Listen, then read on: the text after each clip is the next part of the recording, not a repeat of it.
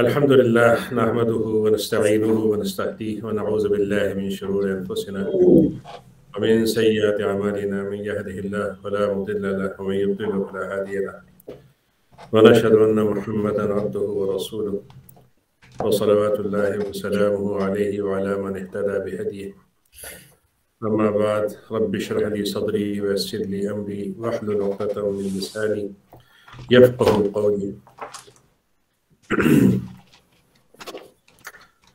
हमारे इस मजलिस के मौलाना साहब की बहुत बड़ी इनाम कहिए, उसका, उनका इकराम कहिए, या उनकी तरफ़ से ये दावत है।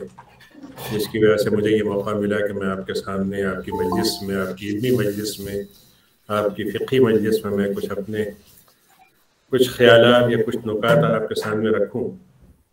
मुख्तसर तौर पर तो ये मुख्तसर ही है, लेकिन ज़ाहिर मुख्तसर का मतलब ये नहीं है कि एक मजलिस का इल्म है ये। तो इस लिहाज से मैं कोशिश तो ये करूँगा कि उसमें अगर कोई ज़रूरत हुई तो उसको थोड़ा सा वाजे कर दूँ। और जो चीज़ें आप लोगों से बर रास्त इतनी मुतल नहीं है, या आपके लिए वो पहले से मालूम है तो उनसे मैं आगे बढ़कर और दूसरे नुक़े की तरह मुंतकिल हो जाऊँ। तो ये उसूल फ़िका का है। इसमें उसूल फ़िका में असल में मैंने जो कोशिश की है वो ये है कि उसमें फ़िका हनफी की भी बातें रखी गई हैं और फ़िका शाफी की भी हैं। एक नुकता तो इसमें यह है कि अकली उलूम, तीन तरह के उलूम को हमारे उलमा ने तकसीम किया है। एक तो वो उलूम है जिनको हम अकली उलूम कहते हैं, जैसे हिसाब है, इंजीनियरिंग है, मेडिकल साइंस वाला है। और एक वो है जिनका ताल्लुक ज़बान बयान से है, ग्रामर नहाव सरफ, अदब से है, जिनको उलूम अली कहते हैं। और एक वो है जिनको हम शरय कहते हैं, यानी कुरान सुन्नत और कुरान सुन्नत पर मबनी उलूम। इन ूम के अंदर ज़ाहिर है कि अगर देखा जाए तो अकीदे का इल्म, बुनियादी इल्म है और कुरान फहमी, तफसीर का इल्म, बुनियादी इल्म है, हदीस का, हदीस के जमा करने का, हदीस के सेहत का, हदीस के ूम का इल्म, बुनियादी इल्म है। इस तरीके से फ़िका का इल्म और फ़िका के असूल का इल्म भी कुरान और सुन्नत के पर मबनी इल्म का नाम ही है और उसकी अहमियत में और हो जाती है कि उसके ज़रिए से ही कुरान और सुन्नत की सही फहम हासिल होती है। और उसके जानने से ही इंसान के इनफरादी ख़ानदानी इज्तमाही ज़िंदगी में इबादत में मामलात में ज़िंदगी के मुख्तलिफ़ निज़ामों को चलाने में मसाइल को हल करने में उसकी मदद ज़रूरी है और उसके जाने बगैर शर्य अहकाम को जानना मुश्किल है। और उसके बगैर कुरान सुनत के अहकाम को समझना भी मुश्किल है और इस्तेमाल भी मुश्किल है। इन्हीं ूम के साथ आप सीरत का इल्म है तारीख़ इस्लाम का इल्म है इस्लाम में जो मुजद्दीन मुस्लिम गुजरे उनका इल्म है। और इस्लाम का जो अपना निज़ाम ममलिकत या निज़ाम हुकूमत है उसका इल्म भी आता है जिसको हम निज़ाम सियासी फिल इस्लाम कहते हैं या फिर फ़िक सियासा कहते हैं।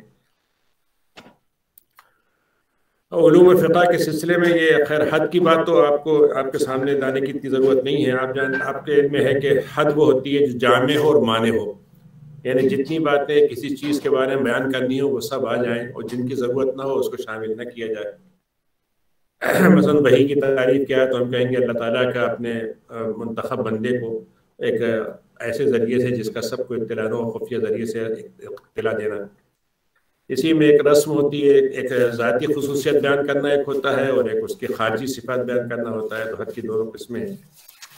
एक चीज़ जो इल्म के साथ ज़रूरी है इनकी तस्वीर से पहले की दलील, क्योंकि हमारे यहाँ जो इल्म है, वो चूँकि फ़हम और फ़िका से ताल्लुक़ रखता है और फ़िका जो है वो उस वक्त तक मोतबर नहीं होती जब तक कि उसके पीछे दलील ना हो। तो इसलिए दलील का मतलब तो जबतन इस्लाम में, यानी लगत के लिहाज से रहनुमा, यानी अरबी ज़बान में गाइड जो होता है, उसको दलील कहते हैं। और जो चीज़ रहनुमाई मदद दे, वो दलील है असलाहन जिसमें गौर वफ़िक्र करके उसके ज़रिए से एक मकसद, एक मतलूब या हुक्म तक पहुँचा जाए। इसी से मिलते जुलते अल्फाज जिसमें ये दलील का लफ्ज़ आता है, बुरहान है, अमारत है, अलामत है हजत है सुल्तान। अब इसमें जो ये इल्म उसूल फ़िका है, इसकी दोनों तरह की तारीफ़ की जा सकती है, यानी तरकीबें मतलब ये कि इजाफी भी हो सकती है और तरकीबें लकब भी हो सकती है।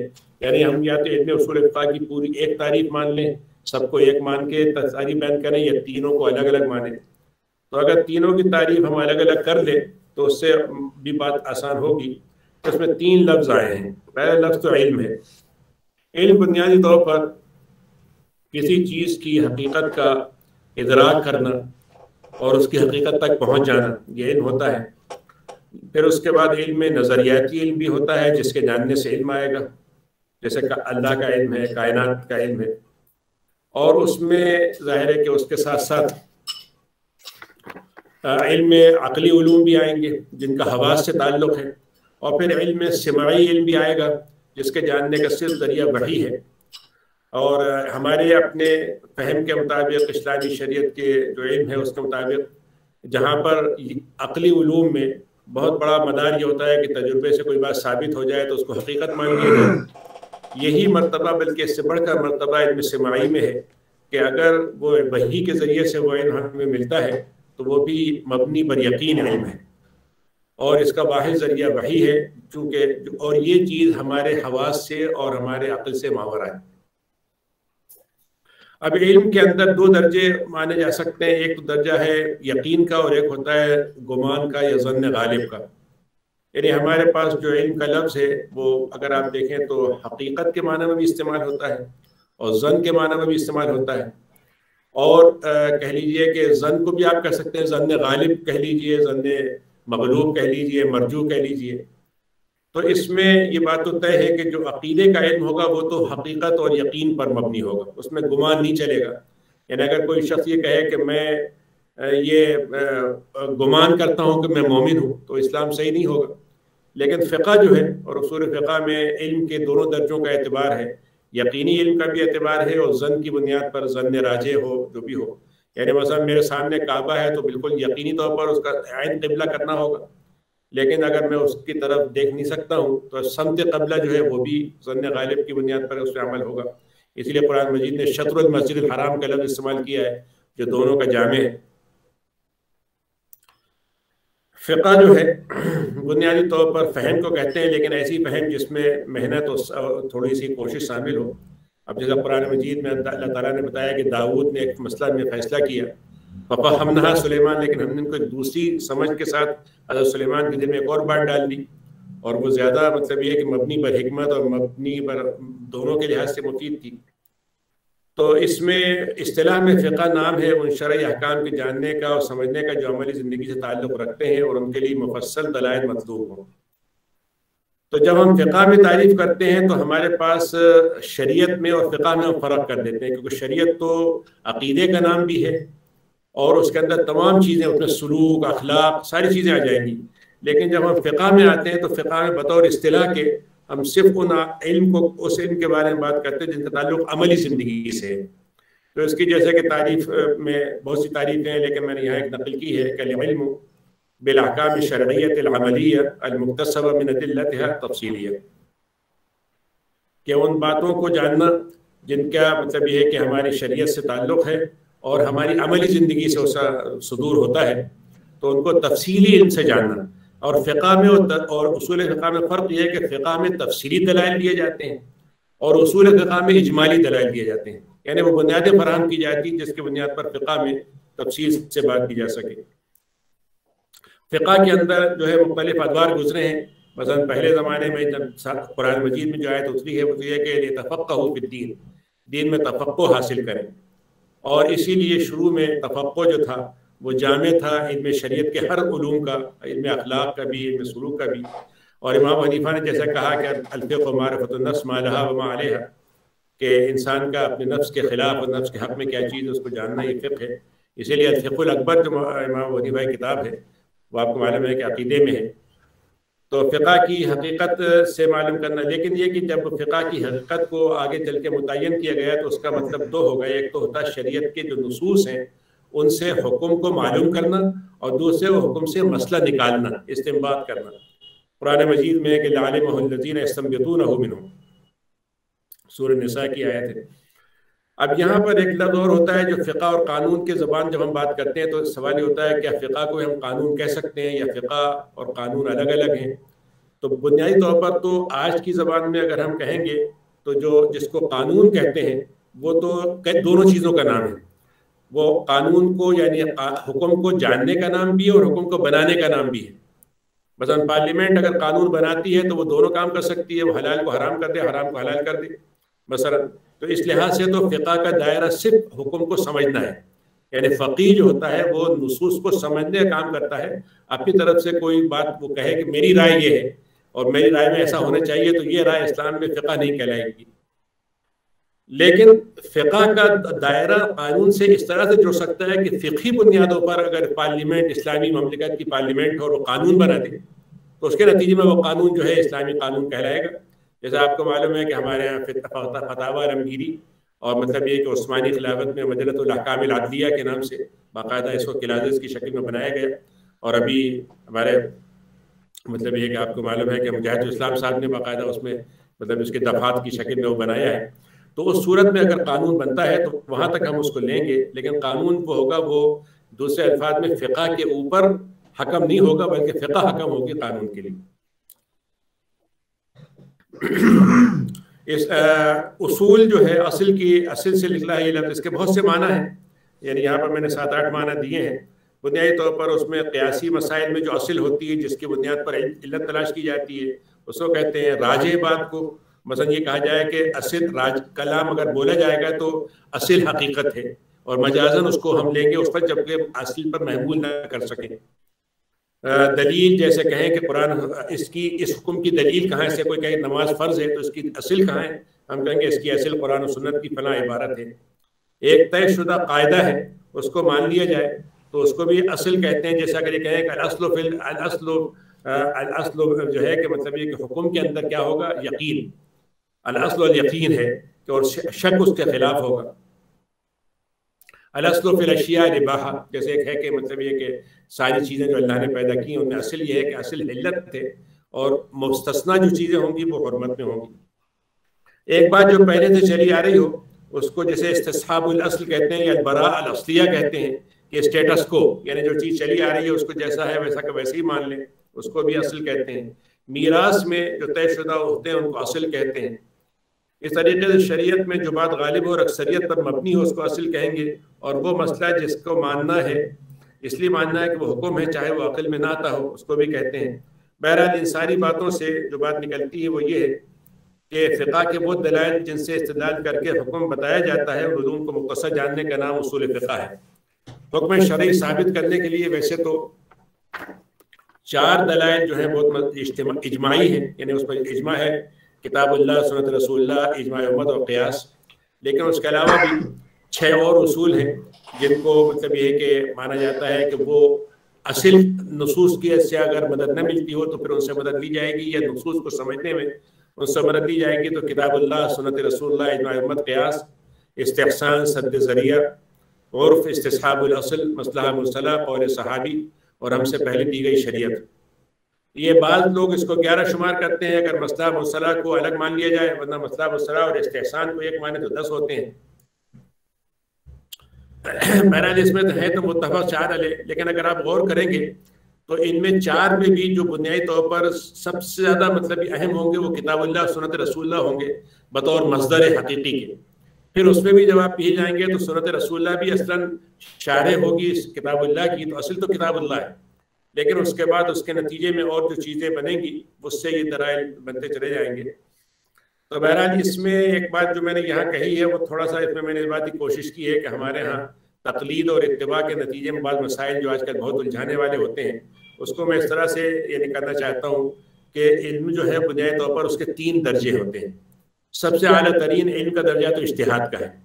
इश्तहाद का मतलब ये है कि एक आदमी इस इल्म के इस दर्जे में मुतमकिन हो जाए कि वो बाकायदा नस से बरारास हुक्म निकाल सके। तो उसके नतीजे में तो वो होगा। अब इश्तहाद की आपको मालूम में तफसीलात है। इश्तहाद मुतलक है और मुख्तलिफ़ किस्म की। और उसके बाद जो है ये इश्तहाद का अली तरीन दर्जा है और जब कोई शख्स दर्जे तक पहुँच जाए तो उसका काम यह है कि वो अपनी भरपूर कोशिश करके इबादत इबादत इबारत से हुक्म निकाले। इसके सिलसिले में शर्तें बहुत हैं, लेकिन मैंने चार शर्तों को ज़्यादा अहमियत से बयान किया है। सबसे पहली शर्त तो यह है कि वो इंतहाई महारत के साथ कुरान फहम हो। कुरान की फहम उसके पास हो नासिक मनसूख कायम हो और जो उसकी तफसीत है उलूम कुरान में। सुन्नत से उसकी बरारात वाकफियत हो और वो उलूम हदीस पर उसकी नज़र हो सही हो गलत पर हो मुख्तलिफ़ जो उसकी इल्लतें हैं उस पर। तीसरे नंबर पे आदमी ज़बान की ऐसी महारत हो कि वो उसलूब ज़बान को भी जानता हो और उसके ज़रिए से अहकाम के अंदर जो फ़र्क होते हैं छोटे छोटे से ज़रा से लफ्ज़ के बदलने से उससे वाकिफ हो। और चौथे नंबर पे अकबाल सलफ़ जो हमारे अच्छे दौर में वाकफियत के साथ जो जो इजमा जो इजमा हुए हैं या अख्तिलाफात हुए हैं उनसे सारी बातों से उसका वाकिफ होना। यहाँ पर मैंने शराब नीचे एक बात लिखी है और वो थोड़ा सा इस मसले को भी मैंने इसलिए ज़िक्र किया है कि हमारे ये सलफियत का मसला आजकल जो है वो खासा यानी मुतनाज़ बन गया है एक तरह से। तो मेरे अपने इनके मुताबिक सलफ के असम में तीन मतलब बनते हैं। पहला मतलब तो हकीकी है वो ये कि जो तीन दौर में से किसी दौर में पैदा हुआ हो कि सहाबा है खैरकर्न करनी तीन दौर गुजरे हमारे जो सबसे बेहतर है। तो ये तीन दौर में जो पैदा होने वाले लोग हैं, वो सलफ कहलाएँगे बुनियादी तौर पर। दूसरे नंबर पे जो सलफ का मतलब हमारे यहाँ समझा जाता था, वो ये था कि वो अकीदे में जो खराबियाँ बाद के दौर में मतजिला से और दूसरे लोगों से आई थी तो जो सहाबा के ज़माने में अकायद के मसाइल थे और जिस तरीके से वो बात करते थे, उस तरीके से अकीदे को मानना। और इसीलिए आप देखिए कि हमारे यहाँ मसन फ़कीर तहाविया है और उसके अंदर इस बात को तकरीबन जितने लोगों ने सिर्फ़ गैर हनफी लोगों ने भी इसको माना है कि हाँ ये सलफ़ के अकीदे के मुताबिक है। ये दो चीज़ों में तो किसी को अख्तिलाफ नहीं है लेकिन एक मसला है जिसको बाद लोगों ने इस तरीके से उसको पैदा किया है कि सलफ़ का ज़माना वो था जिसमें किसी एक मसल की पैरवी नहीं की जाती थी किसी एक शख्स की पैरवी नहीं की जाती थी। अब ये बात जो है बुनियादी तौर पर इसमें थोड़ा सा यानी अगर अल्फाज को आगे पीछे करके कहा जाए तो एक अलग बात है, वरना यह कि सहाबा के ज़माने में भी सारे सहाबा मुश्तहिद नहीं थे। और जैसा कि हजम ज़ाहिरी ने लिखा है कि सहाबा में जिनके फतवे मिलते हैं, वो तकरीबन 140 तक हैं। तो इसका मतलब ये कि आप बहुत से बहुत जो बात कह सकते हैं, वो ये कि सहाबा में मुतन तौर पर एक आदमी से हर मसलक में बात नहीं करते थे। लेकिन ऐसा नहीं है कि उनका नहीं होता था, बल्कि सहाबा जब बिखर गए हैं तो मुख्तलिफ़ शहर के जो मरजा थे, वो उनकी लोग तकलीफ़ करते थे। उस ज़माने में फ़िका जो थी असहाब से नहीं थी, अमाकिन से थी कि फ़िक कोफा है फ़िक बसरा है फ़िक मालिकिया है फ़िक मदीना है। तो कह रहा है, ये सलफियत का एक मतलब जो आज दिया गया है कि वो लोग, सलफियत इसका नाम है कि चारों मसालिक को से बचकर हटकर उनके बगैर किसी तरह की, बगैर तकलीफ़ की ज़िंदगी गुजारी जाए। ये मेरे नज़दीक यानी ये अजीब मसला है कि जो सलफ नहीं थे वो सलफ बन गए और जो असलन सलफ थे वो निकाल दिए गए। अब मसलन अगर देखा जाए तो मैंने ये बात फुरकान की बात में भी कही थी कि अगर इमाम वनीफा के बारे में कम से कम जो बात मानी जा सकती है वो ये किताबा ताबी तो ज़रूर थे वो। तो इस लिहाज से तो सलफ में वो तारीखी तौर पर भी आते हैं अकीदे के लिहाज से भी आते हैं और गोया इसका मतलब ये जो उनकी फ़िका थी और जो उसके बारे में फ़िका में जो उनकी उनका इतबा का मसलक था वो वो भी सलफ के लिहाज से माना जाएगा। तो ये बात जो है वो मतलब ये है कि लोग इसको जिस तरीके से पेश करते हैं मेरे नज़दीक वो सलफ के लफ्ज़ का सही इस्तेमाल नहीं है। दूसरा दर्जा जो है तहकीक का है। तहकीक का मतलब भी होता है कि एक आदमी इश्तहाद की दर्जे पे तो नहीं पहुँचा है लेकिन उसके अंदर इतनी सलाहियत है कि वो दो रायों के बीच में और दलीलों के बीच में तरजीह दे सके और उसके अंदर ये मलका पैदा हो जाए। तो उसकी ज़िम्मेदारी है कि फिर वो तहकीक करके मसले को समझे। तीसरे नंबर पर उसको आप तकलीद कह लीजिए इतबा कह लीजिए जिस जो भी लफ्ज़ इस्तेमाल करना चाहें वरना ये कि कुरान मजीद का लफ्ज़ तो ये कि फसलू अहल ज़िक्र तुम ला अगर तुम्हें पता नहीं है तो मालूम करो। लेकिन ये जो तकलीद है असल में मुश्किल ये हो गई है कि आज के ज़माने में इसका मतलब एक लफ्ज़ बढ़ाया जाता है अंधी तकलीद। और मतलब किसी की भी तकलीद हालाँकि ये बिल्कुल गलत बात है। तकलीद का मतलब ये है कि मैं बीमार हूँ और मैं डॉक्टर से इलाज मुझे कराना चाहिए खुद इलाज शुरू करूँगा तो खराब होगा। लेकिन डॉक्टर कौन होता है? कम से कम इतना इन तो मेरे पास होगा। उसके पास डिग्री है, उसके पास कोई मतलब ये खास किस्म का लाइसेंस है, कुछ भी चीज़ें होंगी। लेकिन ये नहीं हो सकता कि मैं मतलब ये किसी शख्स को ही पकड़ दूँ मैं को साहब आप मेरा इलाज कर दीजिए। तो ये तकलीर का जो तर्जुमा किया गया है, वो मतलब ये कि अंधे लफ्ज के लफ्ज से उसने वो कर दिया गया है, जबकि उसका मतलब ये कि मोतबर उलमा से उनकी राय पर एतबार करते हुए करना और ये उनकी राय पर इसलिए हम एतबार करते हैं कि उनकी इलमी हैसियत और उनकी अखलाकी हैसियत पर हमें एतबार है।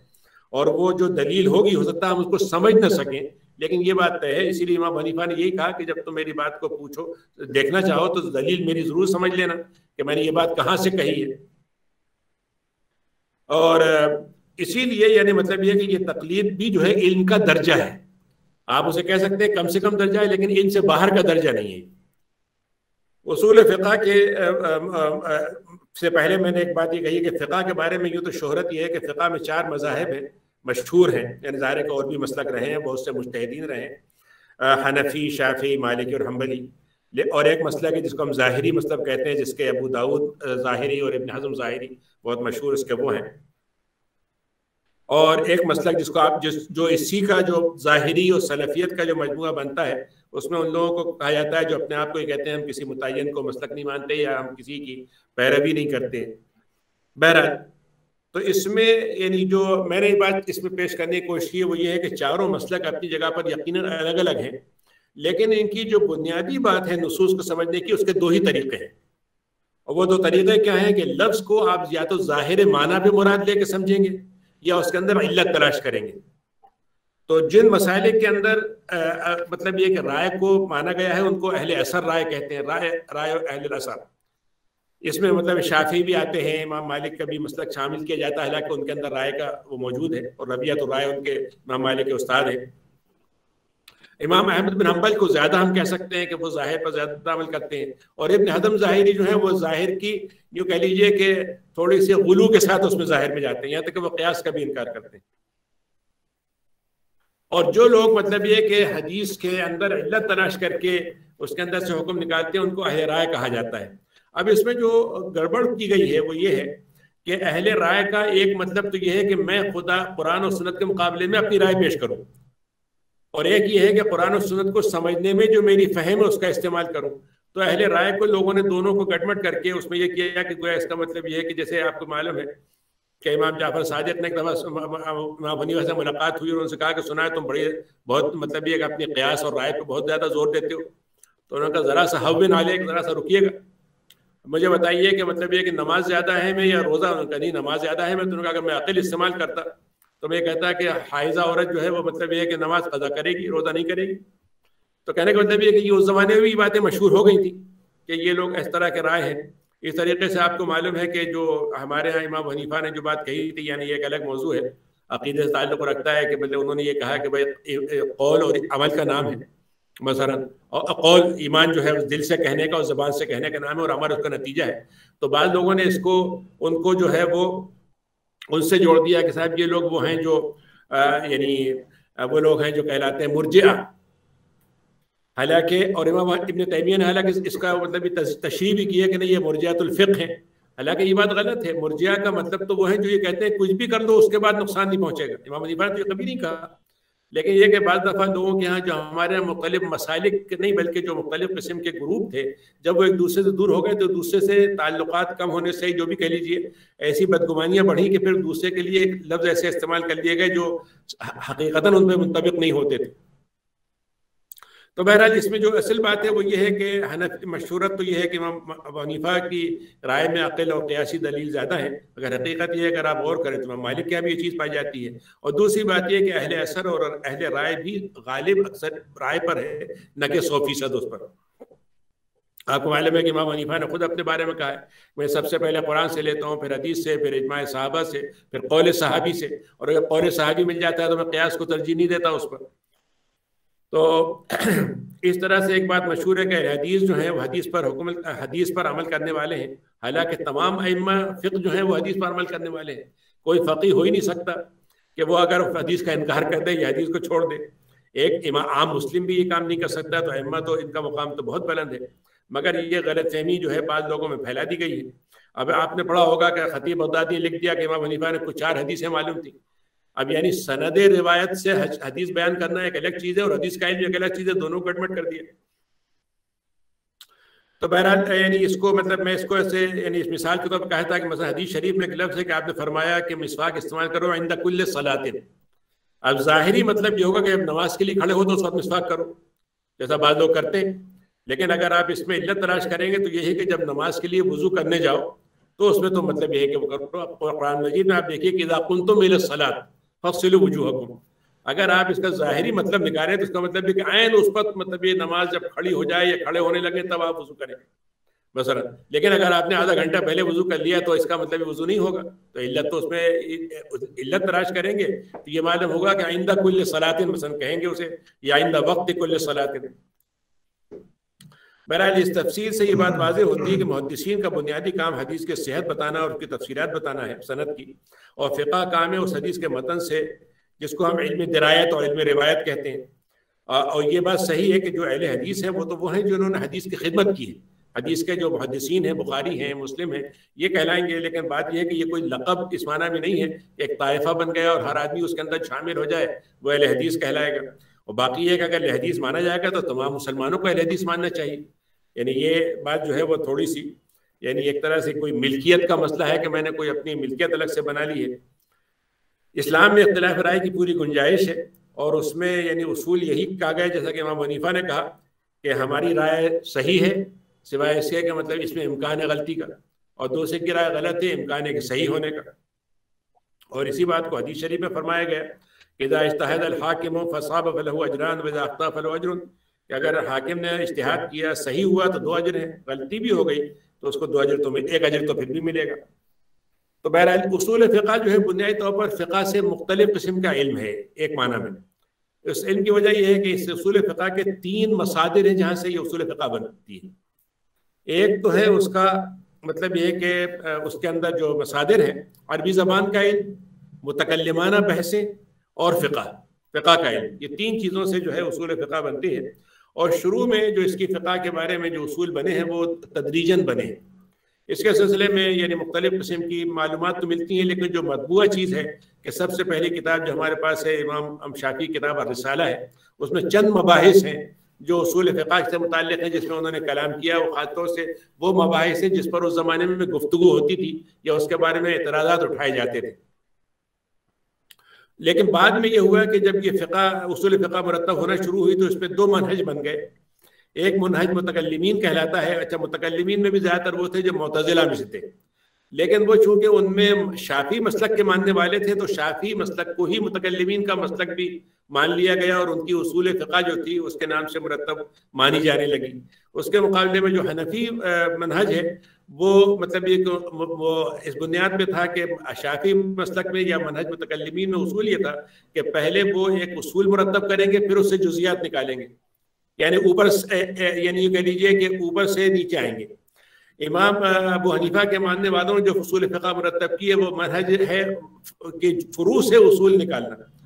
कि मतलब ये कि मुख्तलिफ़ किस्म के जो आरा मौजूद हैं, उनको जमा करके उसकी बुनियाद पर एक उसूल निकाला जाए। कि भाई मतलब ये कि हम कुरान को पहले रखते हैं कि सुन्नत को सारे मसाइल, उनके जो राय देख ली जाए तो उसको मनहज हनफी कहते हैं। और इसकी चंद किताबें हैं, आपको यानी मैं नहीं चाहता कि इस मौके पर उसकी पूरी तफसील आपके सामने आए, लेकिन बहरहाल इस सिलसिले में तीन तरह की किताबें इस वक्त मिलती हैं। एक तो वह हैं जो किसी मनहज पे लिखी गई हैं, और उसमें मतलब बजदबी हैं सरक्सी हैं, ये लोग हैं, और उसके अलावा जो मनहज मतकलमीन है, उसमें मोतमद है। उसके बाद महसूल है जो, जिसमें सारी चीज़ों को पहले को जमा किया है, राज़ी की किताब है। और एक वो है जो दोनों के जामे है।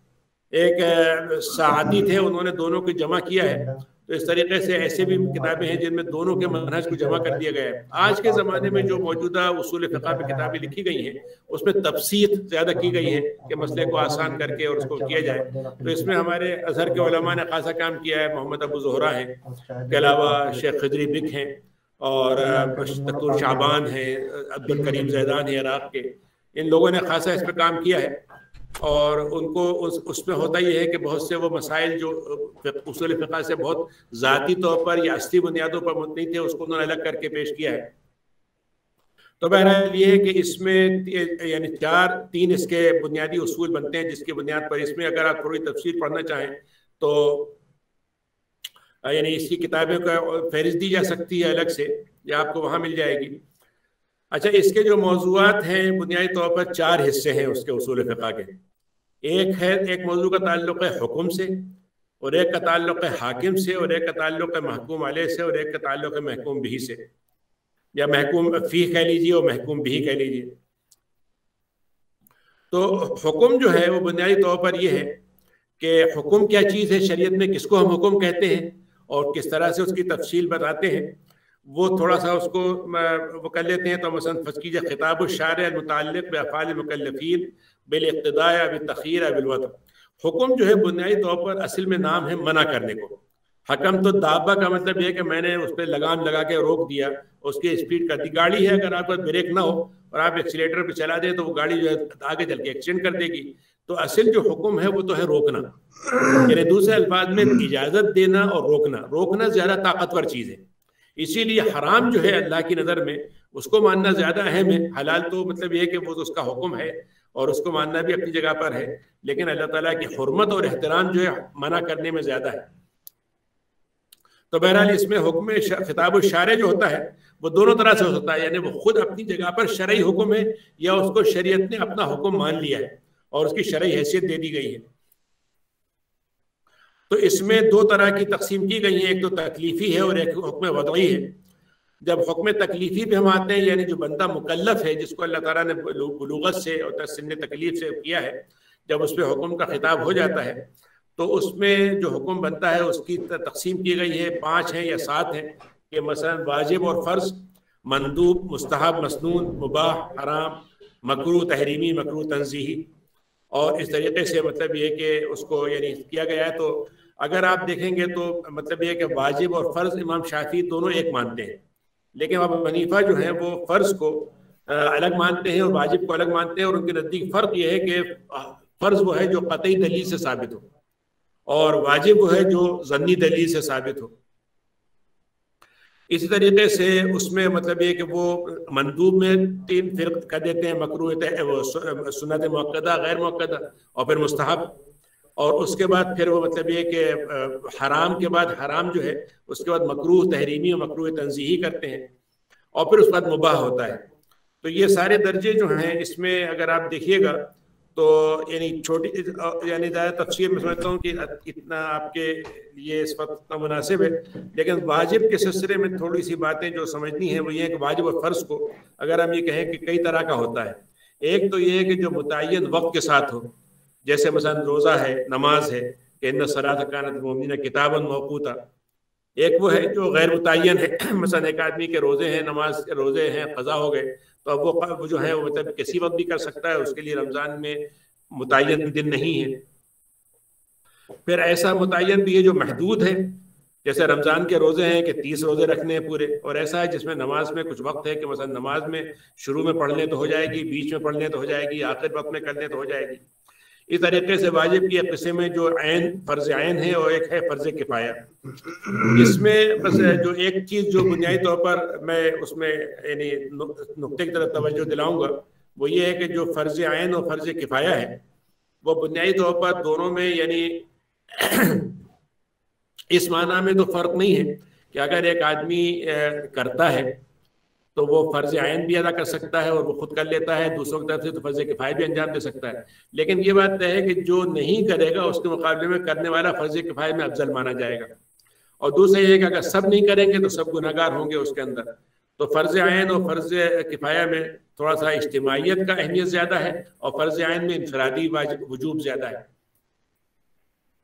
इस तरीके से मंदूब जो है उसके लिए जो है जो उसके अल्फाज हैं, जो जिस तरह को इस्तेमाल कर सकते हैं, मंदूब है, मुस्तहब है, नफिल है, सुन्नत है तत्वो है, एहसान है। ये बहुत से अलग अलग नाम भी हैं, लेकिन बाद दफ़ा इनकी तफसीत भी हैं। जैसे मैंने बताया कि फ़िका हनफी के अंदर सुनत मक्दा अलग हो जाती है, गैर मक्दा अलग होती है, मुस्तहब अलग हो जाता है। और उसके बाद उसमें भी नफिल का दर्जा, उससे थोड़ा सा थोड़ा सा फ़र्क हो जाता है। इमाम शाफी के यहाँ तीनों दर्जे एक ही होते हैं। उसको सबको एक ही लफ्ज से इस्तेमाल करते हैं। हराम जो है, वो काम है जिसके न करने की शरीयत ने ज़ोर देकर हिदायत की हो, जैसे शराब, सूज, जना, बेसबब, कत्ल है। यानी दूसरे दूसरे अल्फाज में इसमें भी गौर करने की बात यह है कि हराम जो है, उसका एक तो मतलब है, ये इसलिए है कि वो खबीस चीज़ है मसला नजिस चीज़ है। जैसे अल्लाह ने कहा कि सुअर नजिस है तो इसलिए हराम है। और एक इसलिए हराम है कि उसकी हरमत है। मतलब माँ से शादी जो है हराम है तो उसका ये मतलब नहीं कि माँ को मतलब बल्कि इस माना में कि ये एहतराम का मसला है। लेकिन दोनों में जो जाम चीज़ है वो ये कि हराम में असलन अल्लाह के हुक्म की एहतराम और हरमत ज़्यादा है। इसीलिए अल्लाह ने उस हरमत का एहतराम अलामत के तौर पर मक्के में रखा है कि मक्के को दारुल हरम बनाया। उसके अलावा मतलब बाज़ चीज़ें हैं कुछ अयाम को अल्लाह ताला ने महीने अशर हरम हरम कहे कि इन अल्लाह ने कहा कि जो हमारे पास दिन है वो क्या है इतना अशर शहर अल्लाह तो है अल्लाह के पास बारह महीने हैं अरबात मिना खुरम तो ये हराम की दो, दो किस्में ख़ासतौर से बड़ी अहम है। एक तो हराम लिजाती ही है जो अपनी असल हैसियत में हराम हो और वह किसी हालत में जायज़ ना हो मतलब सुअर है कि वह हराम लिजाती ही है। और एक हराम लगैरी है कि वो किसी वजह से उसको हराम कर दिया जाए जैसे मसलन नमाज़ जुमा के वक्त में खरीद फरोख्त है।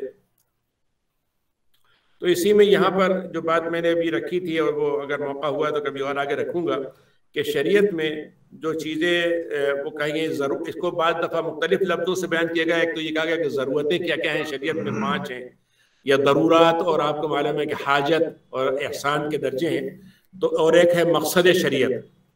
मकसद शरीयत में पाँच हरमात हैं। एक तो जान जान की हरमत, माल की हरमत, नस्ल की हरमत, अकल की हरमत और दीन की हरमत। ये जो है ये मकासद शरीयत हैं और इनके इनकी हिफाजत जो है वो गोया वो भी शरीयत का एक हुक्म है और उसूल फ़िका में इन इन इन, इन मकासद को सामने रखा गया है। इसके बाद जो है मकरू है कि वो काम जिसके न करने का शर, करने का शारे ने मुतालबा किया मगर उसमें शिद्दत नहीं है। लेकिन उसको मतलब ये कि अगर आदमी जो है आ, करेगा उसको करना बुरा है और न करने पर सवाब है। इमाम हनीफा के नज़दीक उसमें एक मकरू तनजीही है, जो जो मुकाबले में है मंदूब के, और दूसरा मकरू तहरीमी है, जो मुकाबले में है वाजिब के। मुबाह ऐसा फ़ैल इसे करने न करने का शारे ने इख्तियार दिया हो, या दोनों बराबर हो, मगर वह जब अल्लाह के लिए कहता है तो उसका सवाब होगा, जैसे खाना है, अल्लाह की रज़ा के लिए हो तो बायस सवाब है। आमतौर से इसमें सवाल ये होता है कि मुबा जो है, जब अल्लाह इजाज़त है तो फिर उसमें अल्लाह के हुक्म की ज़रूरत क्या है? असल में मसला ये है कि इजाज़त मिलने से ही मुबा हुआ। यानी अल्लाह ताला ने जब ये कह दिया कि मेरी तरफ़ से तुम्हें इसमें इजाज़त है तो ये इजाज़त खुद अल्लाह का हुक्म हो गया। तो इस बुनियाद पर मुबाह की अहमियत बढ़ जाती है।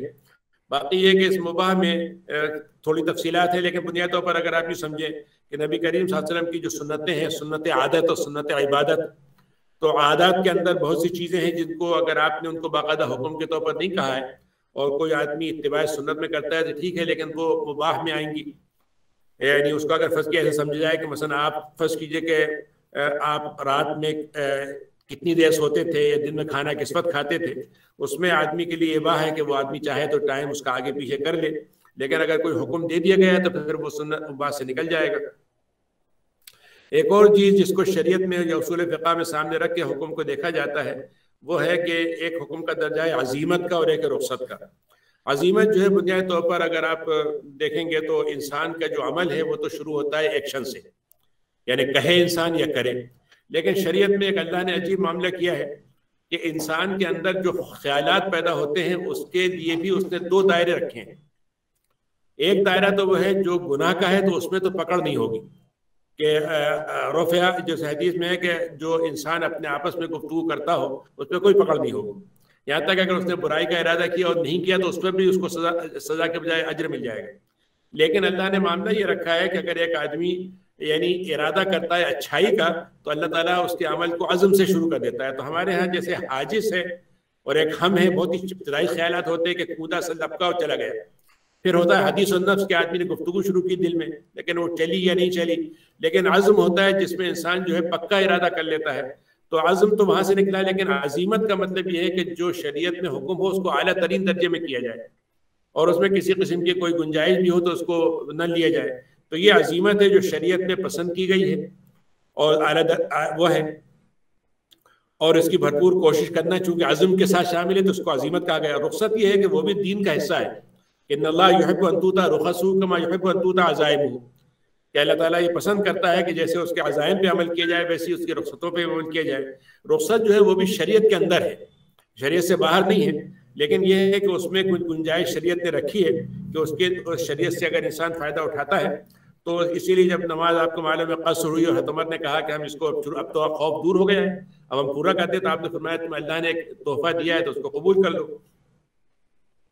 तो रुखसत में जैसे मसलफस की जान बचाने के लिए हराम खा लेना या कलम कुफर कहना, ये उसमें आएगा।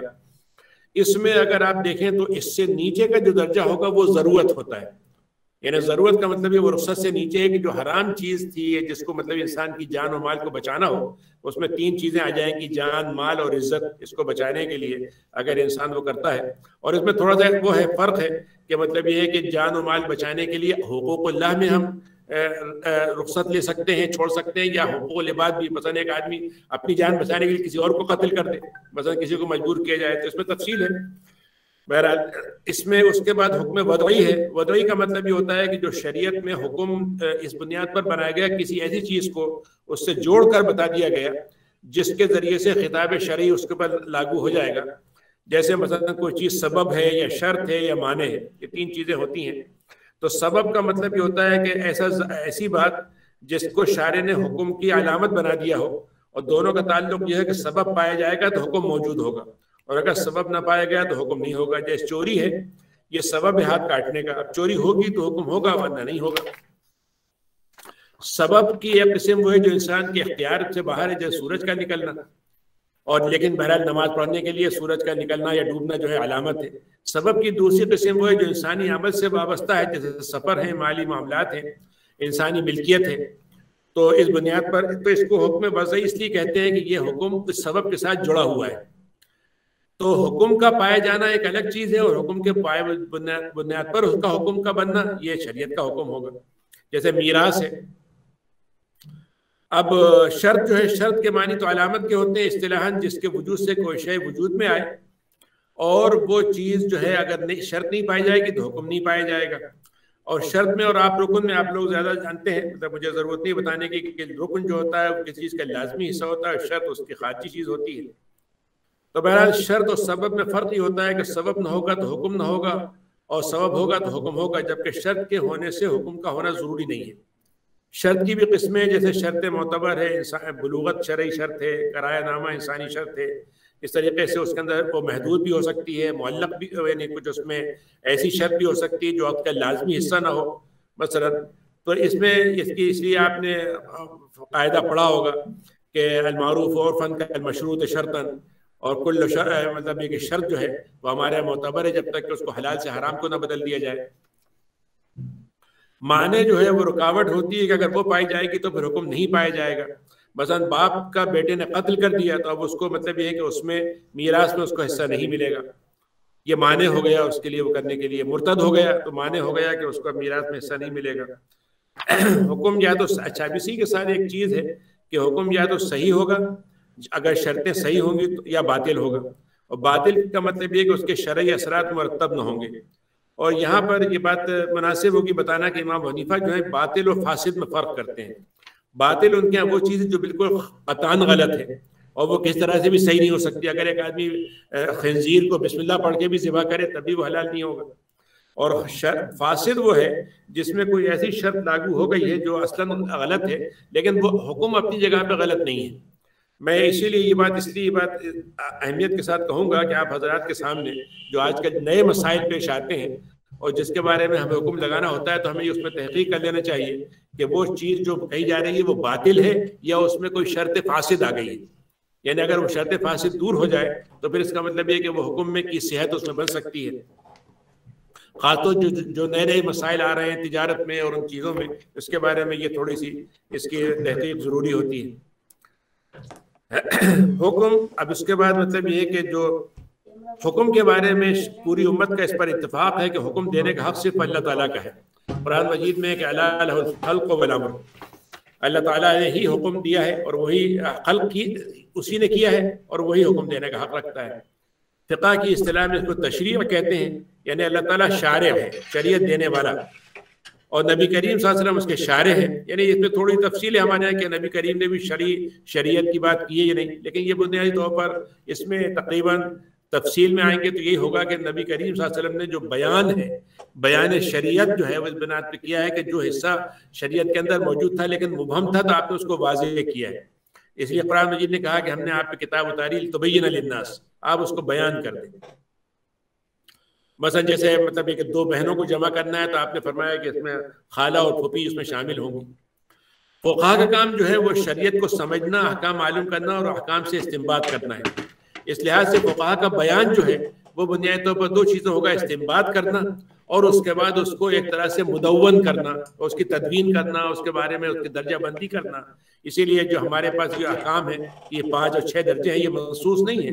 ये फ़ोकहा ने अपने तौर पर उससे मुस्तबत किए हैं। और उसके बाद उनका कौल उसीत मतबर होगा जब उसके पीछे दलील होगी? कुरान मजीद में है कि लायुसलून कि अल्लाह ताला से कोई सवाल नहीं कर सकता, लेकिन लोगों से सवाल किया जाएगा, उनसे पूछा जाएगा। अब इसके बाद जो इस तरह से अगर देखा जाए तो कुरान मजीद में जो आया है कि वाती वाती रसूल मिनकुम। तो इतने अब्बास की तशरी है इसमें कि इसमें दो मुरादें इसमें उलमा जो मामले की शरय हैसियत बताएँगे और हुक्मरान जो इस मामले को नाफिज करेंगे। तो शरय हकाम की एक तरतीब है जो उनकी अहमियत के मुताबिक भी है। मसल मुआजिब जबल की मशहूर हदीस है कि आपने उनको जब यमन भेजा तो उनसे पूछा, मसले को कैसे करोगे? तो उनका कुरान से, उनका कुरान भी ना मिला तो उनका हदीस से, उनका वहाँ से ना मिला तो तो उनका फिर मैं अपने तौर पर इश्तहाद करूँगा और पूरी कोशिश सर्फ कर दूँगा। तो आपने तायद की उनकी और कहा कि अल्लाह तला ने हमारे भेजे हुए आदमी को तोफ़ी दी है। अब इसमें जो पहला मजदर है, वो मतलब कि कुरान मजीद है।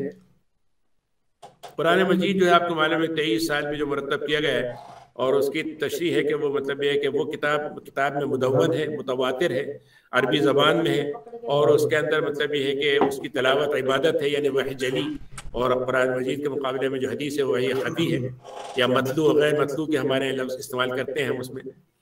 कुरान मजीद में बहुत से मजामी हैं बस उसके अंदर तोहहीद के मसाइल हैं तस्कीर इबरत है हिदायत व हकाम है अकायद से मुतल अहकाम है अहकाम तहजीब नफ से मुतल हैं वो अहकाम जो अकवाल अफ़ाल हमारी ज़िंदगी से मुतल हैं फिर उसके बाद उसमें कसस हैं उसके अंदर मुख्तलिफ़ किस्म की सुन्नतुल्ला अयामुल्ला इस तरह की बातें हैं। आमतौर से कवायद कुरान में जो हकाम दिए गए वो मुजमल हैं और उनकी तशरी तफसील और सुनत से मिलती है और नबी करीम वसल्लम की तशरी जो है दोनों तरह से मिलती है। एक तो उसकी तशरी तफसील में और दूसरे उस पर अमल करके दिखाना कि वो कैसे उस पर अमल करेंगे।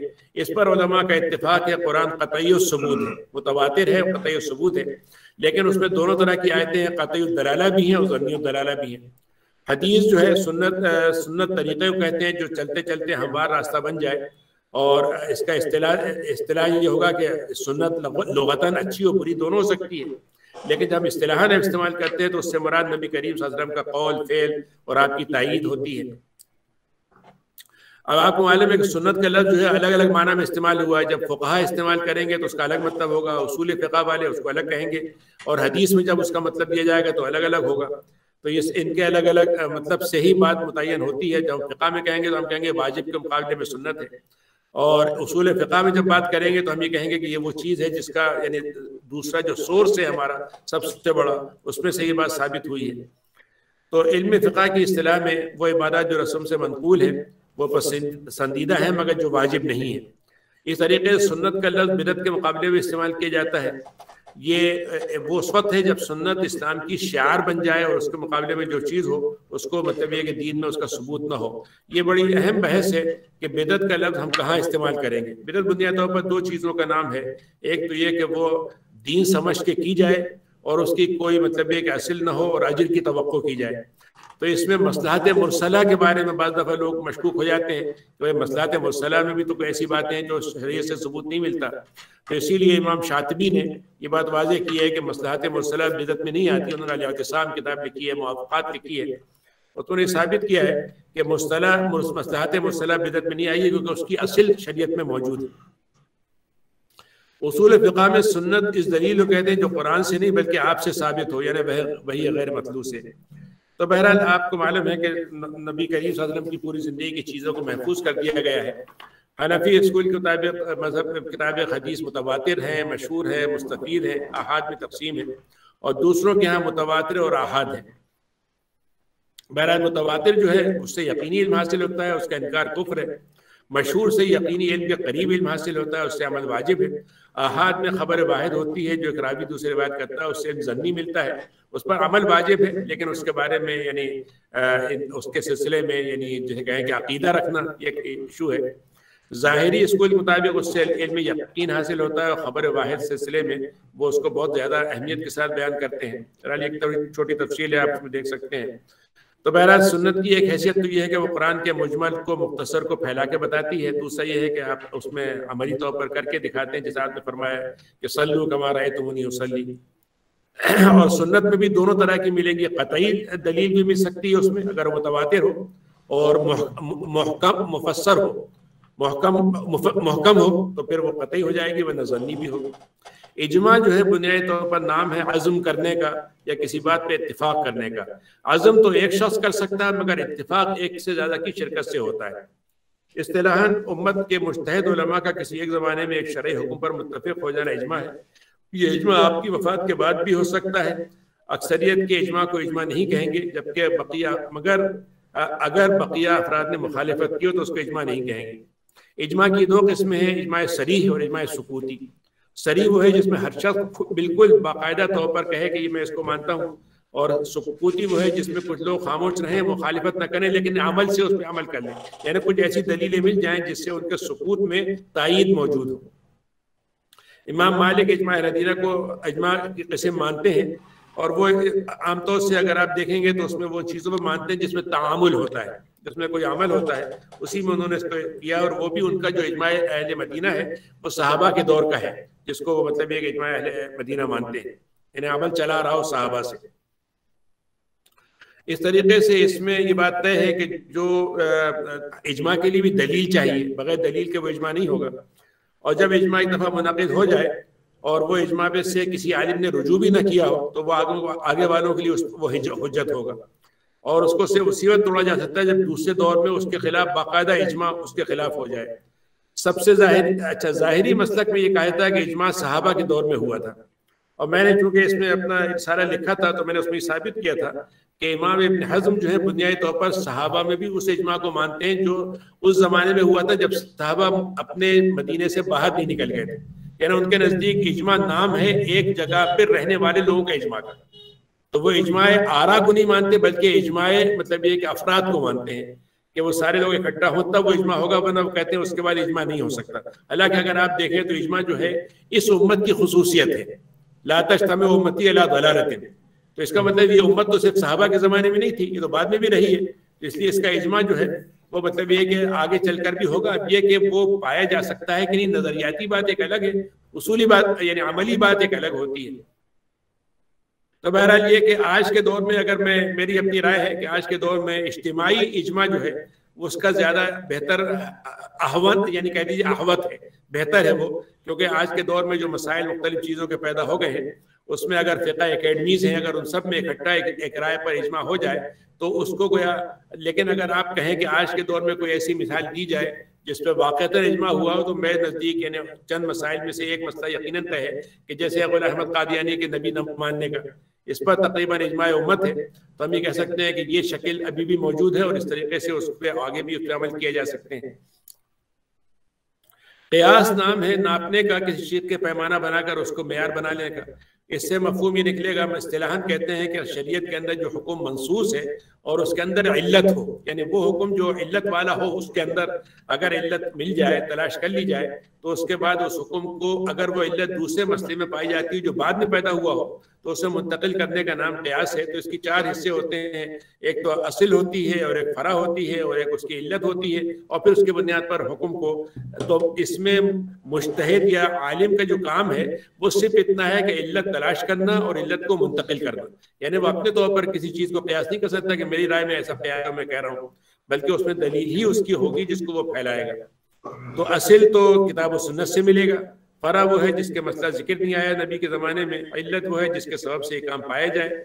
और हुक्म जो है, वो मुश्तहद का काम होगा कि वो मुश्तहद हुक्म को मुंतकिल करेगा।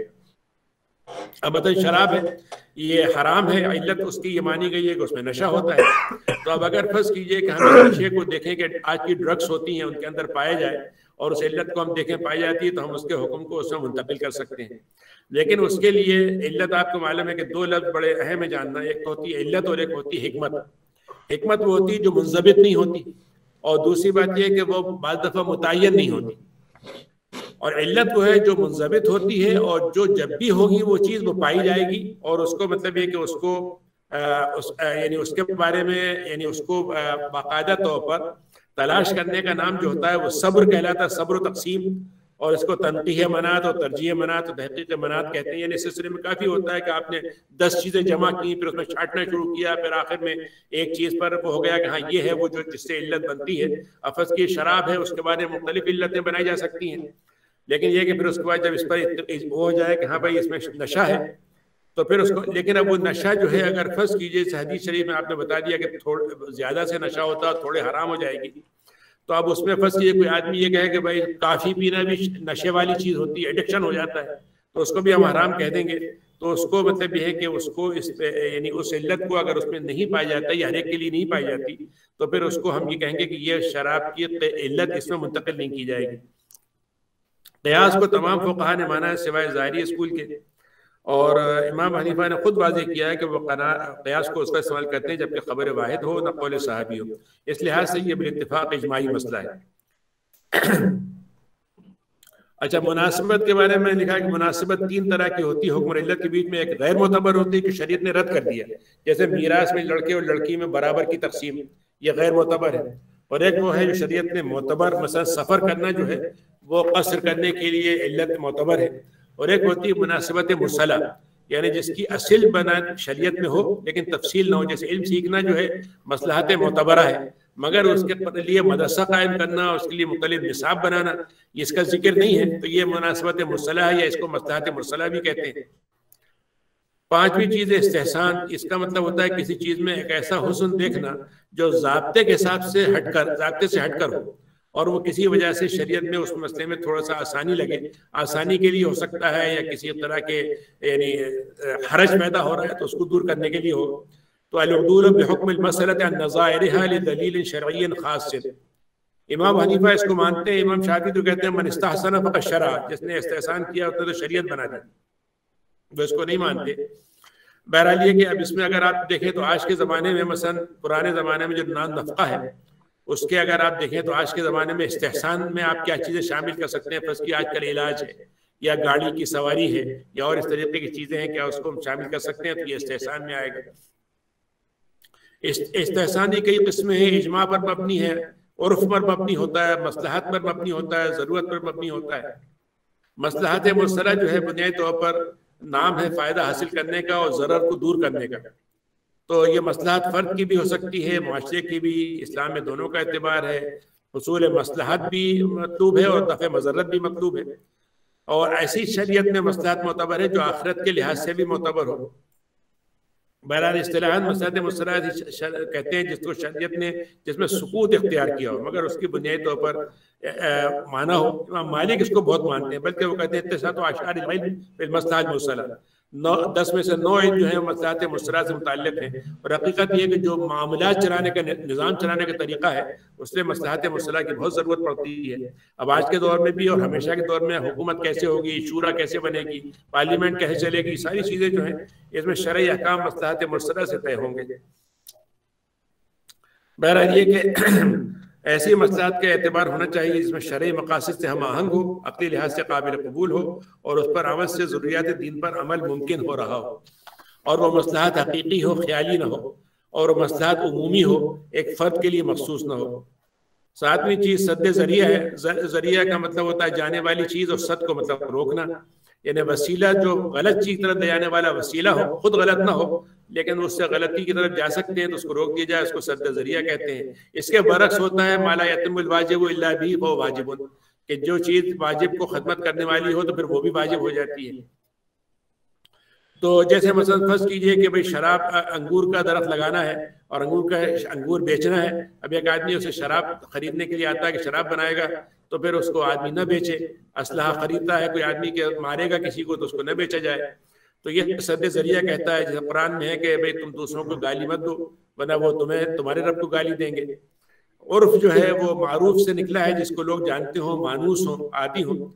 असलाहन ऐसा कौल या अमल जो माशरे में मारूफ हो, लोग उसके आदि हों। और ये अमल जो है, वो इफरादी भी हो सकता है, इज्तमाही भी, कौली भी, अमली भी। अच्छा उर्फ़ जो है, बदलते भी रहते हैं। और बदल जाएगा तो उसका हुक्म भी बदल जाएगा। और उर्फ़ का एतबार उस वक्त तक है जब तक कि वो शरीयत के खिलाफ ना हो बल्कि शरय मसलहत के लिए मुफीद और मुआविन हो। अब मसल फ़र्ज़ कीजिए कि एक आदमी ये कहेगा भाई मैं आपको एक महीने के लिए मुलाजिम रख रहा हूँ। तो मुलाजिम रखने का तो तय हो गया लेकिन महीना अगर ये हुआ कि भाई हमने तय नहीं किया तो महीना कैसे तय होगा? तो उसमें देखा जाए कि उर्फ़ में एक दिन का काम कितने घंटे का होता है या कितने दिनों की छुट्टी होती है कितने दिनों काम किया जाता है वो उससे उर्फ़ पे काम हो सकता है। मशहूर कायदा है कल मारूफ और फन कल मशरूत शुरत शर्तन। इसी तरीके से कुरान की आयत है कि खुद कि आप अफो दरगुजर से काम ले मारूफ के मुताबिक हुक्म दे। इसी का अब्दुल्ला मसूद का कौल है कुल्ल मारा मुस्लिमून हसन हसन। कि जिस चीज़ को मुसलमान भला मान लेंगे तो उसके मुताबिक उसको अच्छा मान लिया जाएगा। लेकिन उसमें शर्त यही है कि मुखालिफ नस न हो और वो बार बार टकराने वाली तकरार के साथ पेश आने वाली हो। और पहले से मौजूद ना हो पहले से मौजूद हो ना कि बाद में बना दिया जाए उसको और बात तय करते हुए उर्फ़ से हटकर न हो बल्कि और ये बात अगर तय कर ली गई कि मसला एक बात लिख ली गई तो फिर उर्फ़ की ज़रूरत नहीं है लेकिन अगर ज़िक्र नहीं किया गया है तो फिर उर्फ़ की बुनियाद पर उसको उस पर अमल होगा कौल सहाबी है सहाबी वो हैं जिन्होंने आपको देखा ईमान लाए और उसी पर आप उन लोगों का ईमान पर खात्मा हुआ कौल सहाबी का मतलब ये है कि वो ऐसी बात कहें जो माकूल माना ना हो हदीस भी नहीं मगर वो हदीस के तौर पर भी उन्होंने बयान ना की हो और लेकिन राय से भी नहीं कही जा सकती हो। इस बात पर इतफाक जिस साहबा का इतफाक भी ना हुआ हो तो ये है कि क्या उस कौल से ताइदी काम लिया जा सकता है।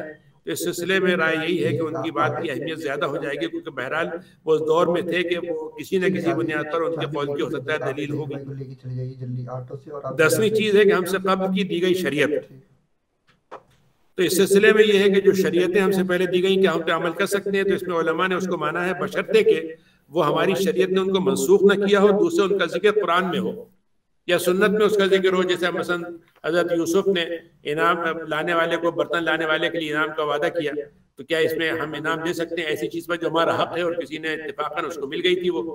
हज़रत मूसा ने महर के तौर पर दस साल की खिदमत की।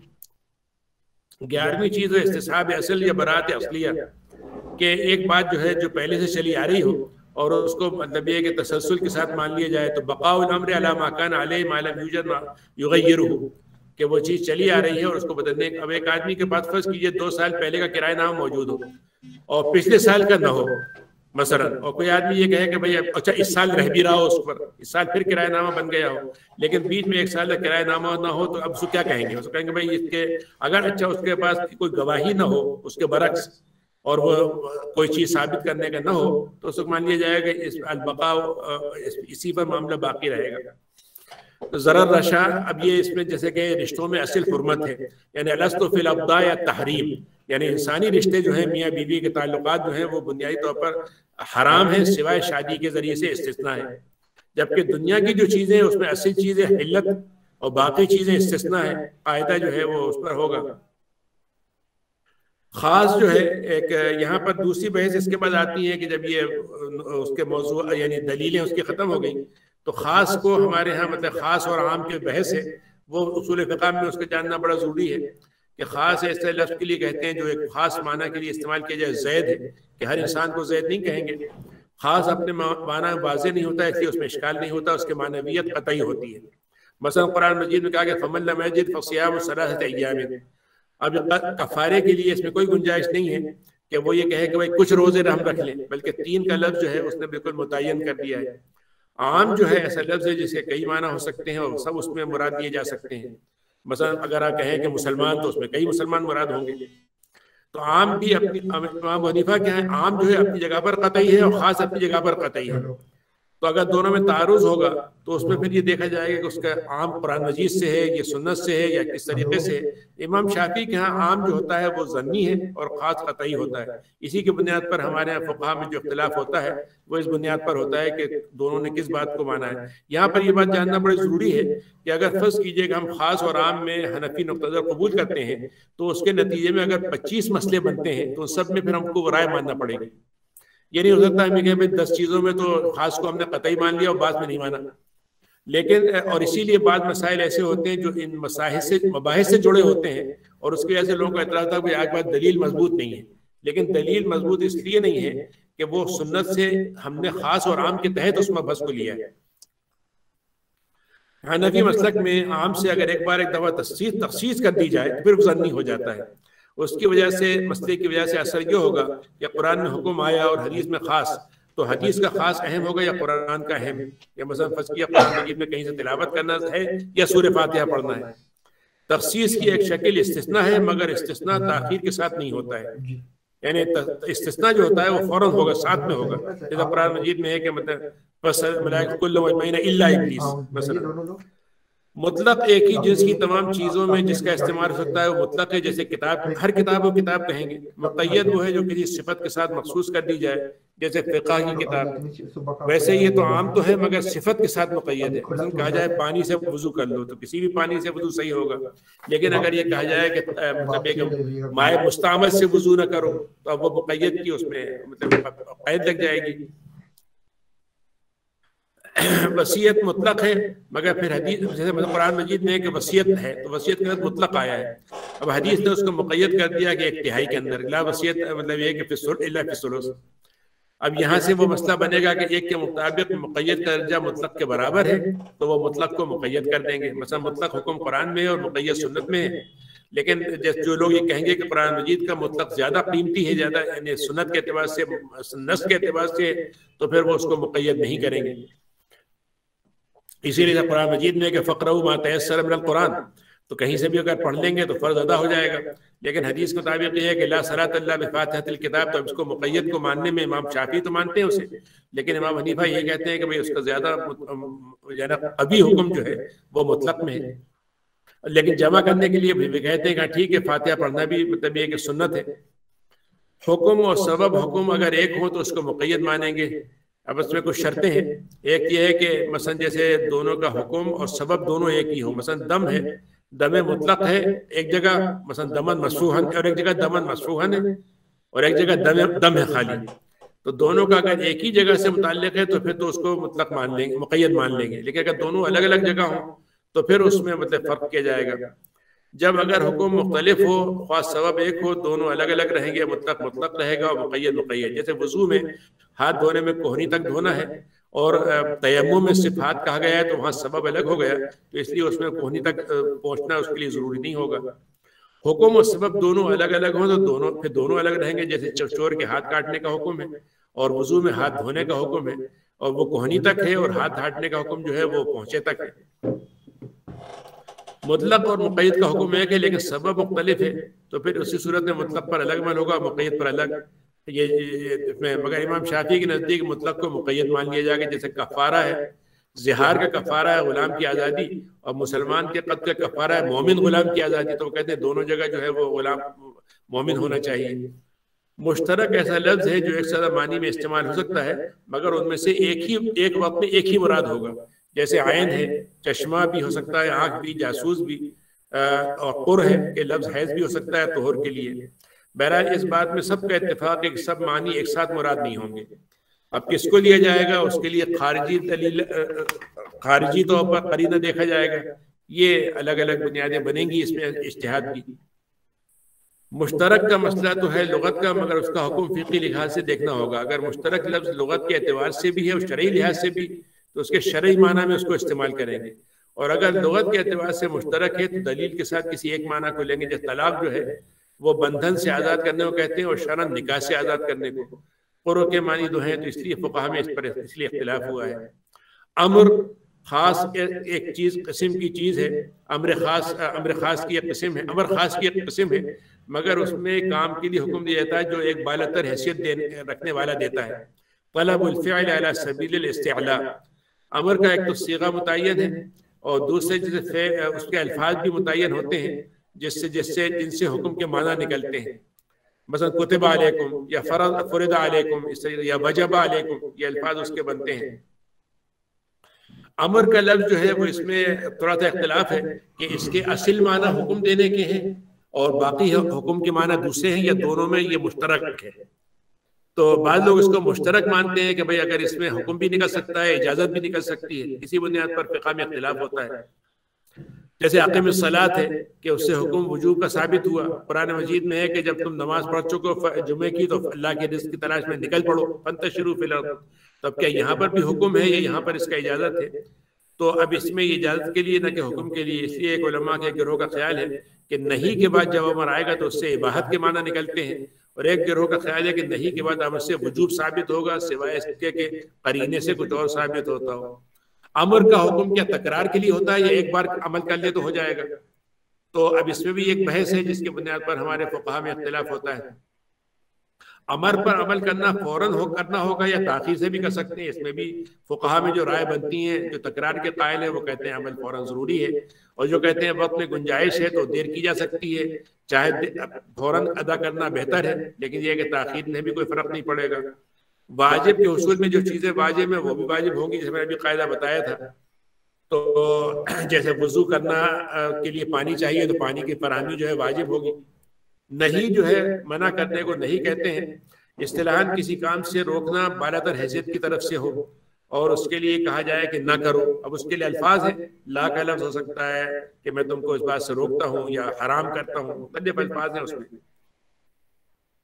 इसमें जो हदीस शरीफ ने इसकी वजाहत की वो ये कि अमर तो तुम विषय फातुमिन मस्तात कि जब मैं तुम्हें किसी बात के करने कहूँ तो जितना कर सकते हो करो।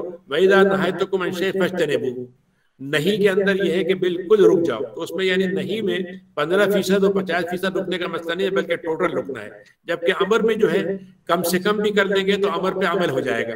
और मैक्सिमम पे जाए तो बहुत अच्छी बात है कि ज़्यादा ज़्यादा कर लेंगे तो अगर नहीं का सबब यह कि वो शारन गलत बात है तो फिर वो फासिद भी है, जैसे बगैर वज़ू के नमाज़। और इन्हीं चीज़ इस तरीके से जैसे नमाज़ के वक्त में खरीद फरोख नहीं का ताल्लुक ऐसी सिफत से जो वजह तारीम हो तो जमूर के नज़दीक वो बातिल भी है और फासिद भी। इमाम हनीफा के नज़दीक अगर उसका ताल्लुक इबादत से है तो फिर फासिद है और बातिल भी है, मगर बातिल दोनों है। मगर अगर उसका ताल्लुक मामला से है तो फासिद तो है, बातिल नहीं है। जैसे बगैर गवाहों के निकाह उसका असर ये होगा कि इस पर दूर हो जाए तो हुक्म सही हो जाएगा। जो बात मैंने पहले कही, बातिल और फासिद की। हकीकत और मजाज सरी और किनाया। जिस माना के लिए उसको बनाया गया हो, वही उससे मुराद दिए जाए तो उसको हकीकत कहते हैं।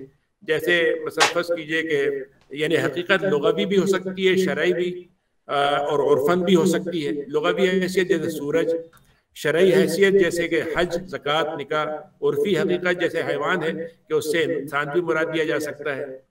हकीकत का हुक्म यह है कि उसको मुराद दिया जाएगा जब तक कि उससे हटने का कोई और सबब ना आ जाए। जैसा मसन दज्जाल है। दज्जाल एक आदमी का नाम है, अगर यूँ कहे कि इससे मुराद एक जमाना है तो हम ये कहेंगे कि असल हकीक, असल लफ्ज इस्तेमाल होगा हकीकत में। सिवाय इसके कि हम उसको किसी और सारिफ मिल जाए फेरने वाला तब हम उससे मजाज पे जाएँगे वरना हम असर मुराद लेंगे। अब जैसे आजकल लोग बड़े मसले पैदा करते हैं क्यामत है जन्नत है ये सब मजाजी चीज़ें हैं। तो हमारा कहना यह होगा कि असलन हकीकत होती है मजाज जो है वो तबादिल होता है जब जब हकीकत मुराद न ले सके तब मजाज पे जाते हैं। जैसा ये कहें किसी शख्स से कहेंगे फना शख्स शेर है तो यकीन उससे हकीकी शेर मुराद नहीं होगा बल्कि बहादुर शेर आदमी मुराद होगा उससे क्योंकि यहाँ पर हकीकी माना मुराद देने की गुंजाइश नहीं है। जुज को कहकर कुल मुराद देना या कुल कहकर जुज मुराद देना जैसा कहा कि जानवर कुर्बान करो इसका मतलब ये गर्दन काट कर खून बहाओ। या ये कहें कि मसलन फना को मतलब ये कि फना की गर्दन आज़ाद कर दो इसका मतलब पूरे जान इंसान को आज़ाद करो। एक शे को को मुस्तकबिल में क्या होगी उसके लिहाज से कहना जैसे शराब बनाना। अब ये वो अमल है यानी जिससे आखिर में शराब बने। एक शय के अमल को मुराद लेकर उसका वो मुराद देना जो शय के अमल को कहकर उससे मुराद देना जो उसके बुनियाद है जैसे वसल करिया कि बस्ती से पूछ लो यानी बस्ती वालों से पूछ लो। सबब को कहकर मुसब्बब मुराद देना जैसे कहें किसी को पसीना खून एक करता है यानी बहुत मेहनत करता है। अकली तरीका है किसी ने कहा कि मैंने दरख्त से खाया तो उसका मुराद ये होगा कि उस दरख्त का फल खाया। आदतन जो बात समझ में आती है जैसे कोई कहे कि ये मेरा मतलब ये कि मेरा घर हाजिर है तो इसका मतलब ये कि आप मेहमान आएँगे तो आपकी मेहमानी में मुझे खुशी होगी। शरय करीना हो जैसे अल्लाह ने कहा कि ईमान वालों तो उससे मुराद औरत और मर्द दोनों होंगे लेकिन बच्चे ज़िम्मेदारी से मुस्तना होंगे होंगे। कि मुखातब नहीं है। मजाज का हुक्म कुरान मजीद ने दिया यहाँ पर ये बहस है मैंने इसको थोड़ा सा इसलिए रखा है कि आपने अगर पढ़ा होगा तो इमाम तैमिया जो है वो बिल्कुल कायल नहीं है कि कुरान में कहीं मजाज आया है और वो खासा उसको ही समझते हैं कि वो सही नहीं है। यानी लेकिन अगर आप देखें तो कुरान मजीद में बाकायदा मजाज इस्तेमाल हुआ और ये भी बलागत के अली तरीन दर्जों में शुमार होता है। लेकिन ज़ाहिर है कि ख़ासतौर से मजाज में किनाया भी आता है। कुरान मजीद ने वो चीज़ें जिनका ताल्लुक जिन से उसमें यानी किनाए को इस्तेमाल किया है। अब मसन जैसे अब नशे भी जगह क्या होती है? यानी दूसरे अल्फाज में कदाई हजत के लिए किराया किया। औरत मर्द के ताल्लुक के बारे में कहा गया, अब जैसे कुरान में कहा गया कि तुम्हारी माएँ हैं। तो माँ हकीकत में तो एक ही होती है। लेकिन सोतेली को भी उसमें और दूध दूध पिलाने वाली को भी उसमें मान लिया गया। सरी ऐसा लफ्ज है जो मुराद हो और इस कदर वाजे हो कि उसमें कोई शुबा ना रहे। सरी का हुक्म यह है कि उसके साथ नीयत को देखे बगैर उसका हुक्म ले गएगा मसला आपको मालूम है कि तलाक के अल्फाज जो वाजे हैं उसमें नीयत का कोई एतबार नहीं। आजकल ये बहुत बड़ा मसला था कि साहब मेरी नीयत नहीं थी। या मैं तो गुस्से में कह दिया था। और तो यहाँ पर शहर के मुफ्ती साहिबान के लिए ये बड़ा मसला होता है कि वो कैसे ही बात समझाएँ कि भाई ये अल्फाज वो होते हैं कि सलाहुन सलासुन जद्दुन जद्दुन वहदुन जद्दुन ये कैसे उस बात को बताया जाए। किनाया वो होता है जो एक बात कहकर उससे मुराद कुछ और ली जाए और ऐसे करीने के ज़रिए से उनको समझा जा सकता है। मसलन कोई शख्स जाए कि अपने घर में जाके बैठो तो अगर उसमें नीयत होगी तो उसके मुताबिक तलाक होगी, वरना नहीं होगी। इस तरीके से लफ्ज की जो मानवियत है आ, उसके लिहाज से कितना वाज है और कितना गैर वाज है उसमें चार किस्में बनती हैं ज़ाहिर नस मुफसर महकम। ज़ाहिर ऐसा लफ्ज है जिससे जो माना मुराद हो वो खुद उससे ज़ाहिर होते हो जैसे अहदल्लाम रिबा। इससे मालूम ये होगा कि बया खरीद फरोख जायज़ है और रिबा जो है वो सूद जो है वो हराम है। ये ज़ाहिर हुआ। ज़ाहिर का हुक्म यह है कि भाई तो ज़ाहिर पे अमल करेंगे मगर इसमें इम्कान रहता है तावील का तखसीस का नस का।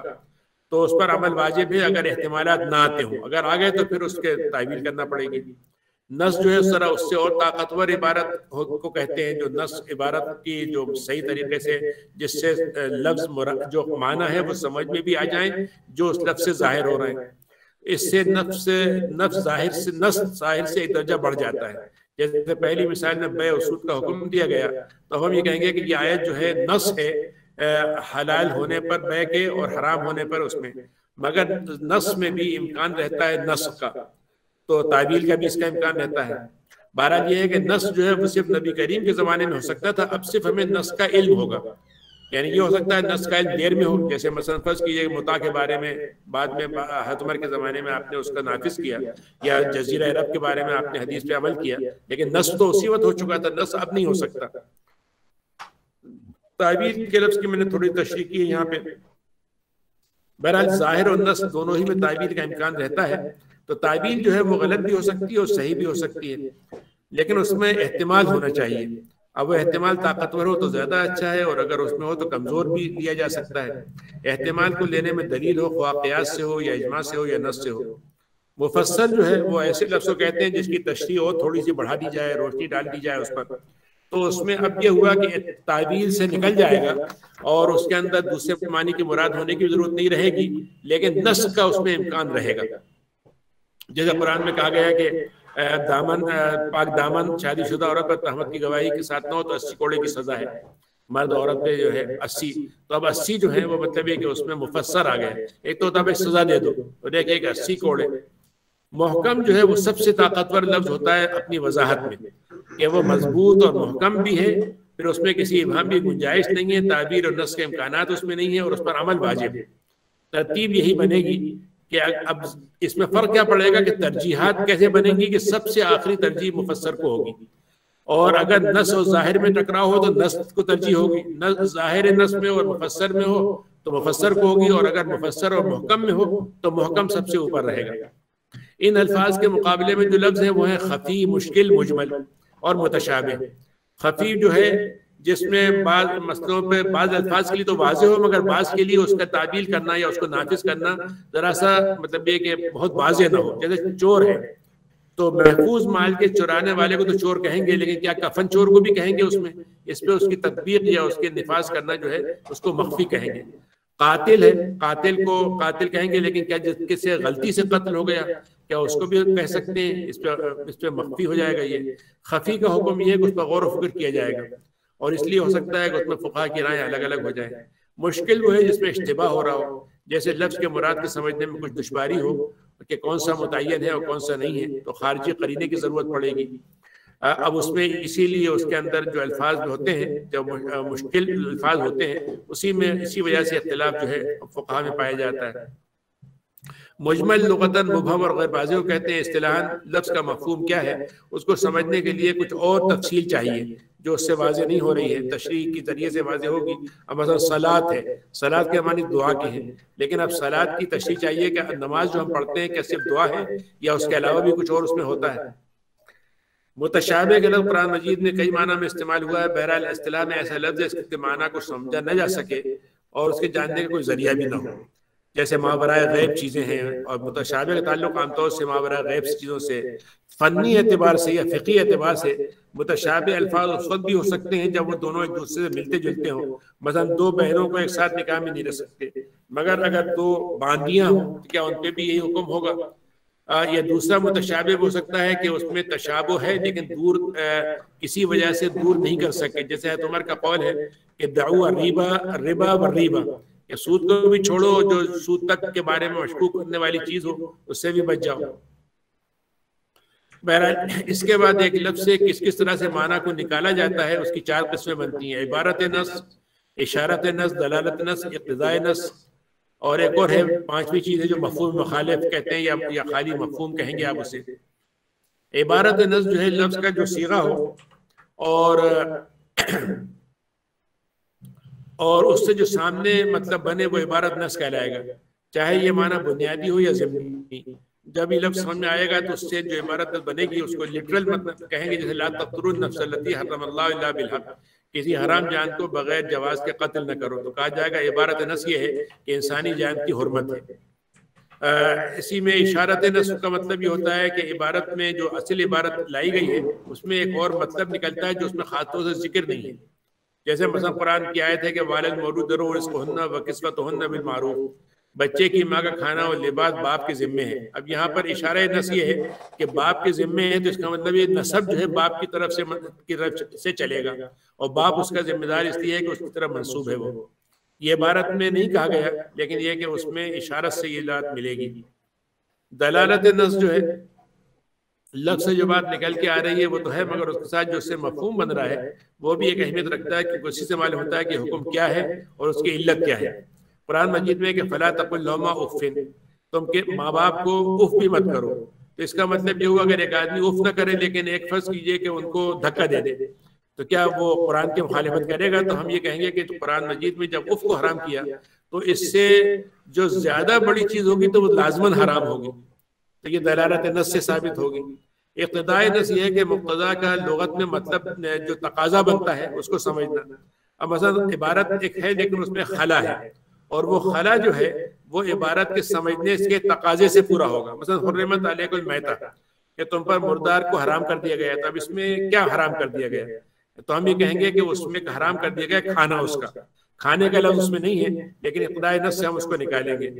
इस तरीके से हदीस शरीफ में कि नल्ला रफा उम्मत की अलखता व निस्यान वाले अल्लाह ने मेरी उम्मत से खता और निशान ज़बरदस्ती को उठा लिया। अब क्या उठा लिया? ज़ाहिर है कि खता तो नहीं उठा ली। इसका मतलब ये कि अल्लाह ताला ने उसका गुनाह उससे उठा लिया और उस पर उसके नतीजे में पकड़ दी होगी। लेकिन इस पर यानी इस पर इतफाक है कि अगर किसी शख्स ने गलती से किसी किसी का नुकसान पहुँचाया तो उसकी तलाफी उसको करना होगी। यहाँ पर मैं इस चीज़ के साथ एक चीज़ आपको जोड़ के तवज्जो आपकी दिलाऊँगा। आपको मालूम है कि हमारे यहाँ जो मौलाना हमीद्दीन फराही साहब हैं उन्होंने नज्म कुरान पर खासतौर से बड़ी बहस की है और बड़ा कारनामा है उनका बहुत अच्छा उनका वो है। और मौलाना अमीन हसन इसलाई साहब ने उस पर उसी पे तदब्बर कुरान भी लिखी है। और उसी में हमारे यहाँ बाद उलमा हैं जो इस सिलसिले में शरीयत के अंदर आप देखा होगा कि बाज़ चीज़ें जो हैं वो रजम के बारे में, मुख्तलिफ़ चीज़ों के बारे में, नज्म कुरान से ये साबित करना चाहते हैं कि ये चीज़ें कुरान में नहीं है तो ये ये सुन्नत से भी गोया उसका सबूत नहीं मिलता या उस सुन्नत में वो तावील कर लेते हैं। इसमें बुनियादी तौर पर यह बात बहुत अहम है कि नज्म कुरान जो है, वो नस कुरान नहीं है। यानी नज्म कुरान के ज़रिए जो बात निकलती है, वो इतदाय नस होती है। तो नस अगर मौजूद हो कहीं पर वाज तौर पर तो फिर इतदाय नस से जो है, वो दलील उसकी कमज़ोर हो जाएगी। यानी बाज दफ़ा लोग जब ये कहते हैं कि देखिए फ़र्ज़ कीजिए कुरान मजीद में ये लफ्ज आया है और उसके तसलसल में ये बात आ रही है तो ये तो यहाँ तक बात ठीक है लेकिन अगर वो उसके मुकाबले में अपोजिट लफ्ज कहीं मौजूद हो तो फिर उसको आप उस तरजीह जब होगी तो फ़िका में इसको मतलब ये रखा जाएगा। तो मैं आप दोस्त से लोगों से यही कहता हूँ कि जो नज्म कुरान पे बात करते हैं कि भाई अगर आप उसूल फ़िका के उसूल के लिहाज से देखें तो पहले आप ये तय कर लीजिए कि इब्तदाई नज जो है वो ज़्यादा अहम है या इबारत नज ज़्यादा अहम है। मफहूम मुखालफ जो लफ्ज से माना है बनेंगे, उसके बरस को मुराद देना। और उसकी कई सिफतें, मफहूम सिफत होता है, मफहूम शर्त होता है, मफहूम गायत होता है, मफहूम लकब होता है। और इसमें उलमा की दो राय हैं। आपको मालूम है कि इमाम हनीफा के यहाँ इसको मफहूम को बर रास्त मुराद नहीं लेते जब तक उसके लिए कोई और सबूत ना हो। क्योंकि अगर एक आदमी कहे भाई फला साहब जो है वो मतलब बैठे हुए हैं तो आप ये नहीं कहते वो खड़े हुए हैं, होता कोई और चीज़ हो। तो इसके लिए मतलब ये कि जितनी इबारत में तहमुल हो उसी तक होगा। तो मफहूम में से वजह से भी उलमा में जो इख्तलाफ पैदा हुआ है, वो उसके दो मतलब निकालने में हुआ है। ये इसके सिलसिले में जो गया, थोड़ी सी आखिरी बातों में से एक अहम चीज़ है कि आपको मालूम है कि मुकल्लफ पे अहकाम होते हैं। तो मुकल्लफ की सबसे अहम चीज़ होती है कि उसकी अहलियत हो उसके अंदर, यानी वो कर सकता हो और उसमें कोई रुकावटें ना हो। तो किन चीज़ों को शरीयत ने अहलियत माना है और किन चीज़ों को रुकावट माना है, ये भी उसूल फ़िका का मौजू है। तो अहलियत में दो किस्म की अहलियत होती है, एक तो वाजिब होने के लिए अहलियत और एक होता है अदायगी के लिए अहलियत तो अहलियत वजूब तो वह है जिसके इंसान के जिम्मे हकूक और वाजिबात बनते हैं, उस ज़िम्मेदारी के ताल्लुक ज़िंदगी से है। अब अगर एक शख्स बच्चा है और बच्चा मतलब पैदा होने के बाद मतलब ये कि उसका, के वालिद का इंतकाल हो गया तो अब वो उसकी मतलब ये कि अहलियत बन गई कि वो मीरात में शामिल हो जाएगा। सिर्फ़ इसलिए कि वो ज़िंदा था उस वक्त। लेकिन अहलियत अदायगी वो है जिसमें इंसान से अदायगी का मुतालबा भी होता है उसका ताल्लुक बलूगत की उम्र से है और उसके कई मरहले होते हैं मतलब बच्चे में बच्चा पेट में है बच्चा अभी शोर के हद तक है शोर से बलूगत है बलूगत से मुकम्मल अहलियत का है। तो ये इन चीज़ों की अहलियत के अलग अलग दर्जे होते हैं और इसके हिसाब से हुक्म को मुरतब किया जाता है या उस पर हुक्म को मुखातब किया जाता है। अहलियत के इसबाब जो है रुकावट बनने वाले इसबाब क्या क्या हैं तो उसमें शरीयत ने मसन आसमानी रुकावटें हैं, जो इंसानी इरादे से बाहर है मसन जुनून है, मरज है। इंसान के अपने फ़ेज़ से कोई बुलाई रुकावट है, जैसे जहालत है, नशा है, हँसी है और मज़ाक है। तो आवारद समाविया में जुनून आ जाता है, जो आरजी भी हो सकता है और दायमी भी हो सकता है। अब आजकल जो बीमारियाँ आ गई हैं, बाद बीमारियाँ ऐसी होती है जो मुस्तकिल होती जैसे कोमा में आदमी मुस्तकिल चला गया। और एक वो है जिसमें इंसान जो है अपनी उसको फ़र्ज़ कीजिए कि वो किया गया था इनिस्टेसिया दिया गया था और वो उसके बाद वापस आ गया तो उसमें उसकी आर्जी तौर पर उसके अंदर वो रही। तो इसका इस तरीके से वो जुनून के अलावा जो हालत है कि एक आदमी जो है वो अकली लिहाज से बिल्कुल सफ़ी शुमार होता है। और उसके बारे में तो उसकी वजह से कितनी चीज़ें उस पर वाजिब होंगी किस पे नहीं होंगी। अब जैसे मसलन आजकल के ज़माने में ये मसाइल पैदा होते हैं कि जैसे जो लोग फ़र्ज़ कीजिए कि गूँगे बहरे हैं तो उनके ऊपर कितनी चीज़ों के मुखातब होंगे किसको नहीं होगा तो इनको अहलियत की रुकावटों में माना जाएगा। इंसानी अमल से बुलाए गए आवारिज में जहालत है। अब जहालत जो है उससे तो मरा दिया कि शरय अहकाम का इल्म न हो। लेकिन इसमें इस बात को पर बहस हो सकती है कि कौन से जहालत को उजुर माना जा सकता है। मसलन कोई शख्स एक इस्लामी ममलिकत में रहता हो इस्लामी माहौल में रहता हो और वहाँ पर वो क्या, मुझे तो मालूम नहीं था कि नमाज़ फ़र्ज़ है, मसलन। तो क्या ये वहाँ पर उसको मान लिया जाएगा? लेकिन अगर कोई शख्स अभी अभी मुसलमान हुआ हो या ऐसे इलाके में रहता हो जहाँ इस्लाम न पहुँचा हो तो वहाँ पर क्या उसके इस जहालत को मान लिया जाएगा? इस सिलसिले में ज़ाहिर है कि जो आज के मसाइल होंगे, उनमें से ये चीज़ें भी अपनी जगह पर इसके सामने रख के बात की जा सकती है। खता, दुरुस्त के मुताबिक मुकाबले में खता है। खता इस्लाम ऐसा काम है, इस्तेलाहन। जो इरादा करने का ना हो मगर ये कि उससे कोई सुदूर हो गया उसका। मसलन डॉक्टर है उसने गलत दवा दे दी। तो अब इसमें क्या उसका इरादा था कि नहीं था? तो अगर फ़र्ज़ किया वो सही डॉक्टर नहीं था तब तो उसकी खता अलग होगी लेकिन वो सही डॉक्टर था। लेकिन उसने जो बात तजवीज़ की वो किसी वजह से गलती हो गई तो उसके ऊपर उसके ऊपर ज़िम्मेदारी होगी कि नहीं होगी तावान होगा? कि नहीं होगा इसको देखा जाएगा निसियान है एक ये कि इंसान कोई बात याद नहीं रहे हालाँकि अकली तौर पर बहाल है। तो ये उजर अदायगी में रुकावट नहीं बनेगा सिर्फ़ एक उसका गुना नहीं होगा। लेकिन हकूक लिबाद में उसकी ज़िम्मेदारी बाकी रहेगी। माली मामला ज़िम्मेदारी के हैं तो वो अदा करने होंगे तलाकी करना होगी।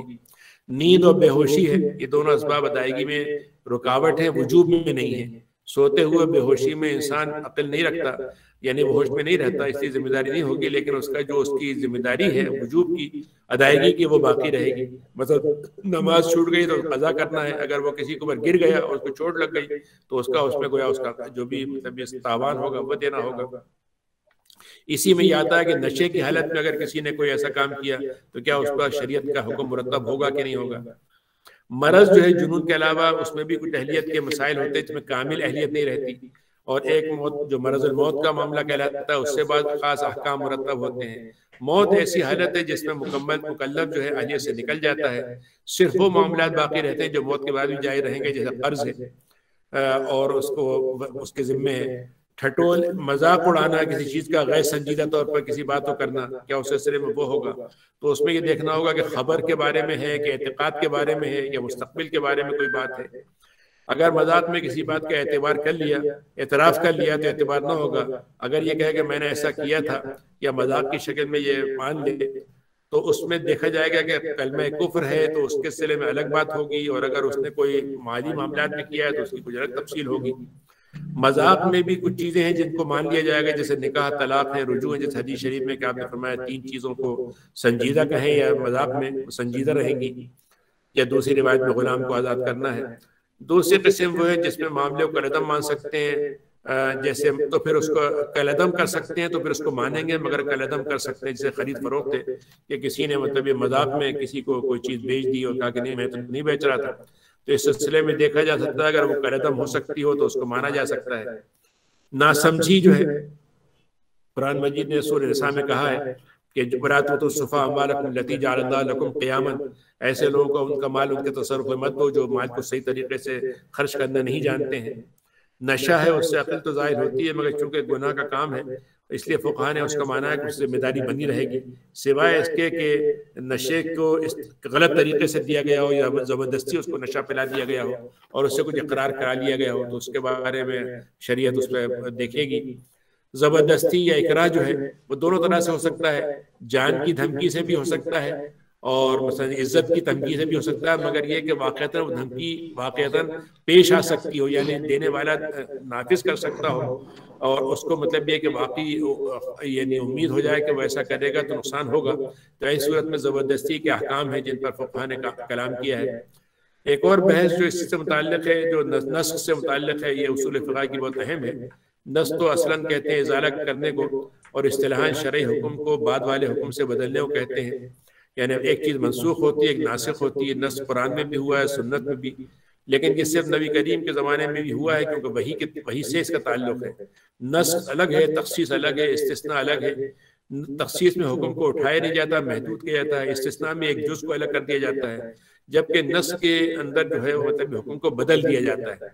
अब आपको मालूम है कि नस के सिलसिले में बहुत से हैं कि बदलना ताकतवर से कमज़ोर को कमज़ोर से ताकतवर को ज़्यादा से कम को कम से ज़्यादा को ये कई उसकी वो है और बाद दफ़ा ये भी हुआ है कि एक नस्ल को पूरा पूरा उठा लिया गया, कुछ नहीं दिया गया, इससे ज़्यादा का दे दिया गया, कम दे दिया गया। नस्ल जो है, नस्ल से ही मालूम हो सकता है। तो उसका मालूम करने का तरीका यह हुआ, तारीख में मालूम हो जाए कि दोनों नस्ल से कौन सा पहले का है, और दोनों को हम जमा नहीं कर सकते हैं। तो फिर उसके बाद देखेंगे कि इसमें से कोई मनसूख है कि नहीं है? कुरान का नस कुरान से होगा या मुतवातिर सुन्नत से होगा? सुन्नत का नस कुरान से हो सकता है इजमा जो है नासिक नहीं हो सकता। मगर वो अंदाज़ा वो अंदा इसलिए इजमा हो सकता है कि अगर नस कमज़ोर दलील से था तो उस पर जमा कर लिया जाए लोगों को और वह जमा हो जाए तो उससे मतलब यह है कि उसको मान लिया जाएगा वरना खुद इजमा जो है नासिक नहीं है। नस की एक शक्ल ये है कि हुक्म से दूसरा हुक्म बनता है। पहले सख्त था फिर नरम हुआ या नरम था सख्त हुआ। और इस तरीके के बराबर के हुक्म भी दिए जा सकते हैं। तारुद तरजीह एक आखिरी चीज़ ये है कि उसूल फ़िका के मौजू जो है वो ये है कि अगर दलाइल में तारुद तो कैसे दूर किया जाए? तो फ़ायदा ये है कि पहले तो हम जमा करेंगे अगर जमा ना कर सके तरजीह देंगे। तरजीह ना हो सके तो फिर दोनों को हटा कर कोई और दूसरी दलील से उस मसले को वो करेंगे। इसमें एक चीज़ जो यहाँ मैं नहीं लिखी है, वो भी मतलब आप हजरात के लिए यकीनन मुफीद होगी और आप यकीन उसको पढ़ते भी होंगे कि अहकाम फतवा और अहकाम मुफ्ती और मुस्तफ़ी जो है, उसके भी असूल फ़िका में बाकायदा एक चैप्टर होता है, जिसमें ये बात बताई जाती है कि फतवे के क्या असूल हैं, मुफ्ती कौन होते हैं, कैसे देना चाहिए। तो वो चीज़ें भी इंशाल्लाह आप पढ़ेंगे तो उससे भी होगा। तो बहरहाल ये चंद बातें हैं, थी जो असलन तो मुझे ये कई कह लीजिए कि मराहल में इसको बयान करता है तशरी ज़्यादा होती है मिसालों से बात ज़्यादा वाज होती तो मैंने आपके सामने ये चीज़ें रख दी हैं। तो कुछ चीज़ें इंशाल्लाह उसको आपको इसमें तजदीद हो जाएगी कुछ चीज़ों से आपको यकीनन कुछ और मौके मिलेंगे मजीद मुताले के। तो इस तरह से आपका सिलसिला जारी रहा तो इंशाल्लाह ये आपका जो सीखना है होगा उसूल के लिए भी और सबसे बड़ी बात यह है मुआरे के लिए मुफीद होगा कि हम दीन की बुनियाद पर जो रहनुमाई करेंगे तो दुनिया में भी फ़ायदा होगा और आखिरत में भी। क्या इन फ़िकी करारदादों के खिलाफ फतवों की गुंजाइश है?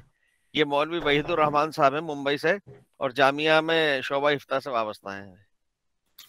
जी बिल्कुल मतलब ये कि यानी आजकल जो अगर देखा जाए तो जो नई शक्ल इस वक्त बनी है वो ये है कि ये हमारे यहाँ जितने भी हैं जब वो अपनी एक मजलिस फ़िकी होती है या मोतमर होती है और उसमें शरीक होते हैं और फिर अपनी अपनी राय रखते हैं। तो अगर वो करारदाद फ़र्ज़ कीजिए कि यानी इस पर हो कि तमाम लोगों ने इत्तेफाक के साथ इस करारदाद को पास किया। तो वो गया इजमा की एक शक्ल बन गई। अब इसके बाद अगर तमाम जो फ़िकी एकेडमीज हैं उनके दरमियान में भी इस बात पर इतफाक़ हो जाए कि हाँ ये चीज़ मुश्तरक है तो फिर वो उम्मत का इजमा कहलाएगा वरना ज़ाहिर है कि वो एक मुल्क का इजमा होगा या एक मसलक का होगा, क्योंकि हमारे यहाँ ये बड़ा मबहस रहा है।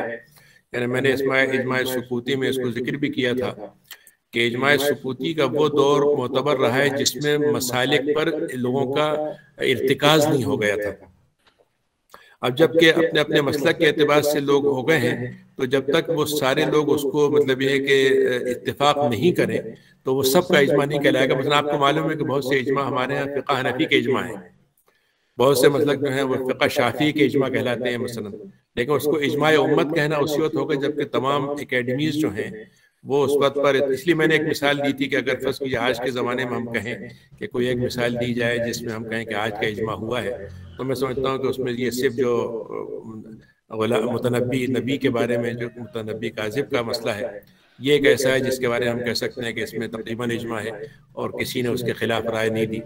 वरना और चीज़ों में तो रहा है तो जहाँ तक इसका ताल्लुक है जो फ़ी करारदादे हैं यकीन उनकी जब तक वो इजमा इजमा की बुनियाद पर नहीं कायम हुई है तो उस पर अख्तिलाफ राय किया जा सकता है। यानी उसमें जो राय दी गई है दूसरा उसे अख्तिलाफ भी कर सकता है उसको उसकी दलील को माना भी जा सकता है। और हकीकत यह है कि अगर आप गौर कीजिएगा तो हमारे यहाँ जो मुख्तलिफ़ किस्म के सेमिनार्स हुए हैं उसमें इसीलिए तनवो पाया गया यानी आरा में मतलब बाज राय कायम की गई फिर दूसरों ने उसके मुकाबले में राय दी वरना जहाँ तक मेरा अपना तजुर्बा है वो ये है कि इस वक्त जो सूरत हाल है वो चूँकि कोई हमारी इज्तमाही क़्यादत की तो है नहीं जो सबको जमा करने वाली हो। और हुकूमतों को इन चीज़ों से कोई दिलचस्पी नहीं है ना मुसलमान हुकूमतों को ना और तो हो ये रहा है कि इतना तजारुब हो गया है आरा में। कि अगर आप फ़िका को मैंने यानी ज़माने में सऊदी अरब में था तो वहीं पर जो फितवे जमते थे छपते थे मैं लोगों से कहता हूँ अगर इनको जमा कर लिया जाए तो आपको इतने मुख्तलिफ़ व मुतनवे मिलेंगे आप हैरत करेंगे एक आदमी एक बात कह रहा है दूसरा आदमी दूसरी बात कह रहा है। तो ये गोया फ़िकी लिहाज से यानी अब तो खुदा का शुक्र है क्योंकि हमारे पास फ़िका में असल चीज़ दलील है। तो दलील के बुनियाद पर बात कहने से मसला आसान हो जाता है वरना आज के ज़माने में जो अगर आप यूँ कहें कि इतबा अहवा ख्वाहिशात और मुख्तलिफ़ किस्म की चीज़ों का जो तसलसल आ गया है उसने इन चीज़ों को बड़ा कमज़ोर किया है। तो बहरहाल ये तो आपको मालूम है कि जो इब्न क़य्यम ने जो बात कही थी कि मुफ्ती जो होता है, वो असलन मुफ्ती तो अल्लाह ताला है। तो हम तो उसकी नियाबत में ये बात कर रहे हैं। तो असलन तो मुफ्ती हजरात की ज़िम्मेदारी बहुत बड़ी है। और आजकल ये सवाल बहुत उठता है और लोग पूछते भी हैं, भाई ये मुफ्ती कैसे बन जाते हैं? क्या होता है? तो खैर, ये एक अलग बहस है, लेकिन हकीकत ये है कि ज़िम्मेदारी के लिहाज से तो ये बहुत बड़ा मनसब था। और इसकी कम से कम जो ज़िम्मेदारी है वो ये है कि इसमें जो बात कही जाए वो यानी दलील की बुनियाद पर हो और अगर उसमें अख्तिलाफी गुंजाइश हो तो जब तक वो अख्तिलाफ दूर ना हो जाए तो उस अख्तिलाफ को कबूल किया जाए। ये एक सवाल किया है मौलवी अब्बास हुसैन नदवी साहब हैं। शेख अब्बास हुसैन नदवी साहब इनका सवाल नवाफिल और सुन्नत गैर मौकदा और मुस्तहबात में क्या फ़र्क है? नवाफिल और सुन्नत गैर मौकदा और मुस्तहबात में क्या फ़र्क है? शेख अब्बास यानी फ़िका हनफी के लिहाज से असल में इसमें थोड़ी सी तफसील की गई है कि नबी करीम वसल्लम ने जो काम किए हैं अगर वो आपने ज़्यादातर किए हैं लेकिन अच्छी खासी बात छोड़ दिए हैं तो वो गैर मौकदा में होते हैं और उसमें जो काम आपने कभी कभार किए हैं। वो नवाफिल में शुमार होते हैं मुस्तहब थोड़ा सा उससे यानी जिसको आपने पसंद किया है या आपने पसंद करार दिया है तो उसको यानी मुस्तहब बताया गया है तो ये ये बड़ा करीब करीब है लेकिन इसमें ज़्यादा चीज़ ये है कि आपने कितनी यानी तनासब क्या है छोड़ने का और करने का? और उसको किस तरीके से आपने किया है तो उसको उसी की बुनियाद पर मतलब फ़िका में इसको मुरतब किया गया है। अब मसन फ़र्ज़ कीजिए जैसे हमारे यहाँ जो नमाजें होती हैं कि भाई चार रकात अब आपने बारह रकातों को रवातिब कहा कि मतलब उसकी हुई आपने फजर की दो रकात की बहुत अहमियत बयान की तो उसके लिहाज से उसको मौकदा पे गैर मौकदा किया गया तो बाद दफ़ा वो फ़र्क बहुत ज़्यादा नहीं होता लेकिन बुनियादी तौर पर वो जाम चीज़ जो उनकी है वो यही है कि ये सब चीज़ें वो हैं जिनका करना अच्छी बात है और जिनको मतलब ये है कि छोड़ना मतलब उस पर कोई गुनाह नहीं है। मगर यह है कि उनका इनकार जो है वो गलत होगा यानी उनकी इस्तफाफ करना गलत होगा और उनका इनकार करना गलत होगा। और दूसरा ये कि बाद ये भी कहते हैं कि अगर कोई ऐसी चीज़ है जो आपने कभी छोड़ दी है तो कभी कभार उसको छोड़ देना भी कोई इस लिहाज से मुनासिब है ताकि वो चीज़ ऐसी ना बन जाए कि लोग समझें कि ये हमेशा के लिए करनी ज़रूरी है। तो यानी इससे बहुत बड़े बड़े फासले नहीं है करीब करीब है सब। लेकिन असल चीज़ यही है कि उसमें मुदावमत अगर आप अच्छा फिर दूसरी चीज़ है एक चीज़ नफिल है लेकिन आपने अपने लिए उसको मुदावमत तय कर ली कि हम करेंगे। तो वो एक और एक इजाफी चीज़ हो जाएगी वो। शेख हज़रत एक सवाल किया है मौलवी उबैदुर रहमान कासमी साहब मुंबई। इनका है कि तकलीद और इतबा में कुछ फ़र्क है या नहीं? तकलीद और इतबा में कुछ फ़र्क है या नहीं? या दोनों बाहम मुतरादिफ हैं? अगर मुतरादिफ हैं तो क्या इस तरह कहा जा सकता है कि हम रसूलुल्लाह सल्लल्लाहु अलैहि वसल्लम की तकलीद करते हैं?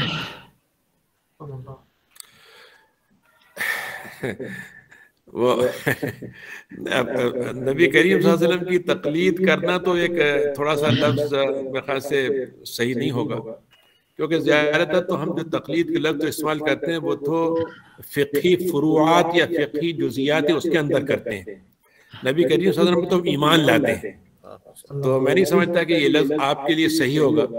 वहाँ तो हम आपके लिए सिर्फ़ एक ही लफ्ज इस्तेमाल करेंगे कि हम आपकी हाँ वहाँ पर इतबा का लफ्ज ज़रूर हम इस्तेमाल करेंगे। लेकिन जो हम अयमा के लिए लफ्ज इस्तेमाल करते हैं तकलीद का और इतबा का यानी दोनों में कोई बहुत मेरे नज़दीक कोई बहुत फ़र्क नहीं है। अब वो कभी कभी ऐसा होता है आपको मालूम है कि बाद अल्फाज अपनी कुछ असल हैसियत को यूँ कह लीजिए कि खो जाते हैं। उनके अंदर कमज़ोरी आ जाती है तो आदमी फिर दूसरे लफ्ज को इस्तेमाल कर लेता आपको मालूम है एक जमाने में मुल्ला का लफ्ज जो था सबसे बड़ा लकब होता था आलिम का अब आज के ज़माने में बड़ा मतलब ये कि एहतियात करना पड़ता है लोगों को कि भाई मुल्ला कह दिया तो उन्होंने कही तो क्या बात हुई हमें आलिम ही नहीं मानते तो जब तक अल्लाह ना कहे। तो ये तसलसल कभी कभी इस लिहाज से होता है वरना तकलीद जो है बुनियादी तौर पर यानी इसको बाज लोगों ने यकीनन इस माना में कहा है कि जैसे आपने गोया अपने कलादा डाल दिया अपने गर्दन में बिल्कुल ये हुए तो उसको इसीलिए मैंने ये कहा कि हमने लफ्ज तकलीद का जो इस्तेमाल करना है उसका बेहतर लफ्ज आज के ज़माने में मेरे नज़दीक उसमें इतवा है वरना अमलन दोनों में फ़र्क नहीं। है बुनियादी तौर पर जो असल चीज़ है वो ये है कि मैं एक आदमी की राय पर एतमाद कर लूँ और उसके दलील को अगर मुझे बता भी देगा और मैं इस लायक नहीं कुछ समझ सकूँ। तो मसल उसका मेरी दलील को समझना बेकार है और समझने की बुनियाद पर मैं खुद फैसला ही नहीं कर सकता। अब मसल एक डॉक्टर है मुझे उससे मैं, वो मुझे बता भी दे कि ये चार दवाएँ हैं, मैं आपको एक दवा लिख के दे रहा हूँ। तो मुझे तो बिल्कुल नहीं मालूम कि इन चारों दवाओं में फ़र्क क्या है। तो इसलिए वो मतलब ये कि लफ्ज तकलीर लेकिन असल जो चीज़ है जो बुनियादी बात मैंने उसमें कही थी वो यही था कि भाई तकलीर नाम है एक मोतबर आलिम की बात को मानने का और इस बुनियाद में मानने का कि भाई हम उसके इल्म पर और उसके अखलाक पर भरोसा करते हैं। ये नहीं है कि मतलब सड़क में चलते हुए किसी आदमी की दाढ़ी देखी और उनका भाई मौलवी साहब है उनसे पूछ लो मसला। तो ये ये तकलीफ़ तो किसी की भी नहीं होगी। इसलिए इसीलिए मतलब ये कि अगर आप देखिएगा तो अहकाम मुफ्ती वगैरह में खासतौर से फिका तो बहुत वाजह बात देखी है कि जो आदमी तहकीक करने का अहल हो, उसको उसको तकलीद वाजिब, उसके जिम्मे जायज़ नहीं है उसके लिए। उसको लाजमन तहकीक करके मालूम करना चाहिए। लेकिन जो आदमी वो नहीं कर सकता है जो मालूम नहीं कर सकता या मालूम करना भी चाहे मसलन आप मुझे कोई सेल फ़ोन है आप मुझे बता दें कि भाई फला मार का खरीद लीजिए। अब मुझे उसको खोल के देखने ही नहीं आता ना मुझे उसके बारे में कोई मालूम है तो मैं तो तकलीफ़ ही करूँगा। लेकिन वो तकलीद एक मोतबर तरीके से होगी ऐसा नहीं होगा कि सड़क चलते हुए किसी की बात कर लिया। तो असल जो मसला मैं मैं समझता हूँ जो असल मबहस है जो इसमें हम उलझ जाते हैं। असल मसला सिर्फ़ ये है कि अगर एक मौलवी साहब ने इसीलिए हमारे यहाँ जो लोगों ने ये बात कही है कि जिस आदमी ने जिस आलिम से पूछा वो उसका इमाम बन गया। यानी वो उसका मुकलद हो गया। मसरत बल्कि मस्जिद के इमाम से पूछा कि मैंने नमाज़ पढ़ी हो गई कि नहीं हो गई? अब सवाल यह है कि वो आदमी अपना अमल से बरी हो जाएगा कि नहीं होगा? यानी मैंने किसी साहब से सवाल किया उन्होंने बताया कि नहीं ठीक है आपका मतलब ये कि निकाह सही हो गया या आपकी ये फला सही हो गया तो क्या अल्लाह ताला मुझे इस वक्त पकड़ करेगा? अगर पकड़ करेगा तो फिर तो सही बात यह कि ना तकलीफ़ जायज़ हुई ना इतबा जायज़ हुई। लेकिन अगर अल्लाह ताला के यहाँ इस बात को मान लिया जाएगा तो मेरा तो काम उससे हो गया। ये कि इल्मी तौर पर जो मसला है, वो ये कि हमें ज़्यादा से ज़्यादा इल्म हासिल करना चाहिए, आला दर्जे पहुँचना चाहिए तो ये तो मतलूब है। लेकिन उस मतलूब को हम के नतीजे में दूसरी चीज़ को हकीर बना दें, ये गलत है। हज़रत ये शोभा इफ्ता के साथी हैं, मौलवी फुरकान गनी साहब सीतामढ़ी बिहार के हैं। उनका सवाल यह है कि जदीद पेश आमदा मसाइल के जवाब तलाश करने के लिए कहाँ रुजू किया जाए? और उन मसाइल को समझने के लिए हमें किन उमूर को सामने रखना चाहिए? जदीद मसाइल के लिए। मैंने ये पिछले दफ़ा के दस में ये बात अर्ज़ की थी कि हमारे यहाँ जो मतलब ये कि तीन तरह के फ़िकी मसाइल हैं एक तो है जिनके बाकायदा कह लीजिए कि मसाइल भी ज़िक्र कर दिए गए और उनका हुक्म भी ज़िक्र कर दिया गया दूसरे किस्म के अहकाम वो हैं जिनके मसाइल की बुनियाद फराहम कर दी गई है और जदीद मसाइल पे हम उसको मुंतबिक कर सकते हैं। तीसरे मसले वो हो सकते हैं जो वाक़ता उसके लिए आप कह सकते हैं कि हमारे पास बहुत ज़्यादा यानी तफसील नहीं है या बहुत छोटा मोटी तफसील है। मसलन जो आज के ज़माने के तिब्बी मसाइल हैं मसलन जो मतलब ये उस ज़माने में तो कोई प्लास्टिक सर्जरी होती नहीं थी पहला नहीं होता था तो उसको हम कैसे आज वो करेंगे? तो बहुत थोड़ा सा दायरा है जो जदीद मसाइल जिसको हम कहते हैं। सिर्फ़ जो जदीद मसाइल है मेरे नज़दीक, उसमें अगर आप गौर करेंगे तो दो मसले ज़्यादा पेश आते हैं। एक तो मसला ये है कि जदीद मसले में जदीद इश्तहाद किया जाए तो वो तो मैंने बताया कि बहुत कम है। जदीद मसले, मसाइल के अंदर कोई बेहतर राय या हल्की राय या मुनासिब राय अख्तियार की जाए। बस फ़र्ज़ कीजिए कि हज के मसाइल आजकल पेश आते हैं। कि भाई अब मसन हज में रमी जमार है। क्या उसके वक्त में हम गुंजाइश दे सकते हैं कि अगर मगरब तक न मार सके तो मगरब के बाद मार लें। और किसी एक कौल की बुनियाद पर उसको इख्तियार कर लें। तो ये जदीद मसाइल तो मतलब ये कि चलते रहेंगे और इसमें तो मतलब ये कि फ़िकी आरा के, के आपको मालूम है। अब ये मैं आपको बताऊँ कि जैसे मैं कनाडा में हूँ। और कनाडा में बाद मसाइल ऐसे पेश आते हैं जिसमें बाद दफ़ा जदीद मसाइल को यानी मैं आपको यानी उसकी मिसाल यानी अपनी अपनी जैसे कह लीजिए कि अपनी पख कह लीजिए जो भी कह लीजिए। हमारे यहाँ हिंदुस्तान पाकिस्तान में या मुसलमान मुल्कों में मसला है जो लमा का अख्तिलाफ है वो है जायज़ और अफजल। यानी ये चीज़ कर लो लेकिन इससे बेहतर ये है? तो हमारे यहाँ जो इख्तिलाफ है वो इस बात पर है कि मसलन जुमा मुझे पढ़ना है तो मसलन फ़र्ज़ कीजिए कि ये जहाँ पढ़ना अफजल है या यहाँ पढ़ लूँ तो जायज़ हो जाएगा। हम जिस मुल्क में रह रहे हैं, वहाँ पर यह है कि जुमा या तो हम पढ़ लें या छोड़ दें, यानी वहाँ पर तर्क करने पे और अमल करने में मसला है। यानी मैं मिसाल दूँ, आपको फ़र्ज़ कीजिए कि हमारे पास जोहर जवाल का वक्त हो रहा है बारह, फ़र्ज़ कीजिए बारह, पंद्रह पे और एक कंपनी है जो छुट्टी देती है बारह से साढ़े बारह तक। तो अब या तो वो आदमी जो काम कर रहा है, वो जुमा पढ़ ले बारह बजे, वरना फिर वो जुमा नहीं पढ़ेगा। तो क्या हम ये कह सकते हैं कि भाई दस मिनट पहले या पंद्रह मिनट पहले भी खुतबा शुरू होते होते जवाल से पहले कर लें और नमाज़ जवाल के बाद कर लें मसलन। तो ये बाद दफ़ा ये जदीद मसाइल की जो जदीद ज़रूरतें होती हैं, वो सिर्फ़ ये होता है कि आप उसे अहमन बलियतैन कह लें या ऐसर कह लें या जो भी आप उसकी वो कहें। और इसीलिए मैं कहता हूँ कि फ़िका हनफी में इसमें इसकी गुंजाइश बहुत ज़्यादा है। क्योंकि उसमें बहुत से अकवाल मिलते हैं तो उसकी वजह से यानी मसलन मैं इमाम अबू यूसुफ है। इमाम अबू यूसुफ की राय है कि अगर तीनों दिन की रमी भी एक दिन कर ली तो उसके साकित हो जाएगा। फ़र्ज़ कीजिए। तो ये जो जदीद अकवाल है वो इस माना में है कि जदीद अकवाल में किसी और कौल की तरफ़ मुंतकिल होकर हम उसको ले लें। ये मतलब ये कि बात हो सकती है जो हमारे हमारे मतलब ये कि पेश आती है। बाकी ये इसमें जो मर्जा है वो तो ये एकेडमीज होगी या उसमें जो जहाँ जब होते हैं मसन जो आपको मालूम होगा डॉक्टर वहाबा जुहैली हैं उन्होंने जो फ़िका पे अपनी किताब लिखी है तो उसमें उन्होंने आखिरी जिल्द में मतलब बाकायदा वो करारदादें सारी जमा कर दी हैं। और हिंदुस्तान में तो बाकायदा चल चुकी छप चुकी इस तरह की चीज़ें कि मतलब वो करारदादें मंशूर शक्ल में मौजूद अब तो आजकल माशाल्लाह ये मीडिया ऐसा बन गया ये सोशल और इसमें कि वो आपको वेबसाइट पे सारी चीज़ें मिल सकती हैं। तो इसमें यही मर्जा होंगे इसके दो सवाल और हैं। एक सवाल है शोभा इफ्तार के साथी हैं, मौलवी तोकीर अहमद साहब नदवी, कुवैत से हैं। इनका सवाल यह है कि असर हाजिर में कुछ अशखास ऐसे भी हैं जो सिर्फ़ कुरान और हदीस को बरह रास्त समझने की दावत देते हैं और कराम, यानी आइमा मुजतहिदीन की तजलील करते हैं। कहते हैं कि इन हजरात ने अपने कयास और आरा से कुरान और सुन्नत में मुदाखलत की है। इसलिए सिर्फ़ कुरान और हदीस को पढ़कर समझना चाहिए और उसी पर अमल करना चाहिए। और अपनी आवाम को इसी की दावत भी देते हैं। ऐसे लोगों को हमें किस तरह समझाना चाहिए? क्या फ़िक्र और उसूल फ़िक्र के बगैर नसूस से मसाइल का इस्तेमाल किया जा सकता है? मौलाना, बात यह है कि आप अगर देखें तो तीन आपके सामने, यानी मतलब ये है कि सूरतें बनती हैं।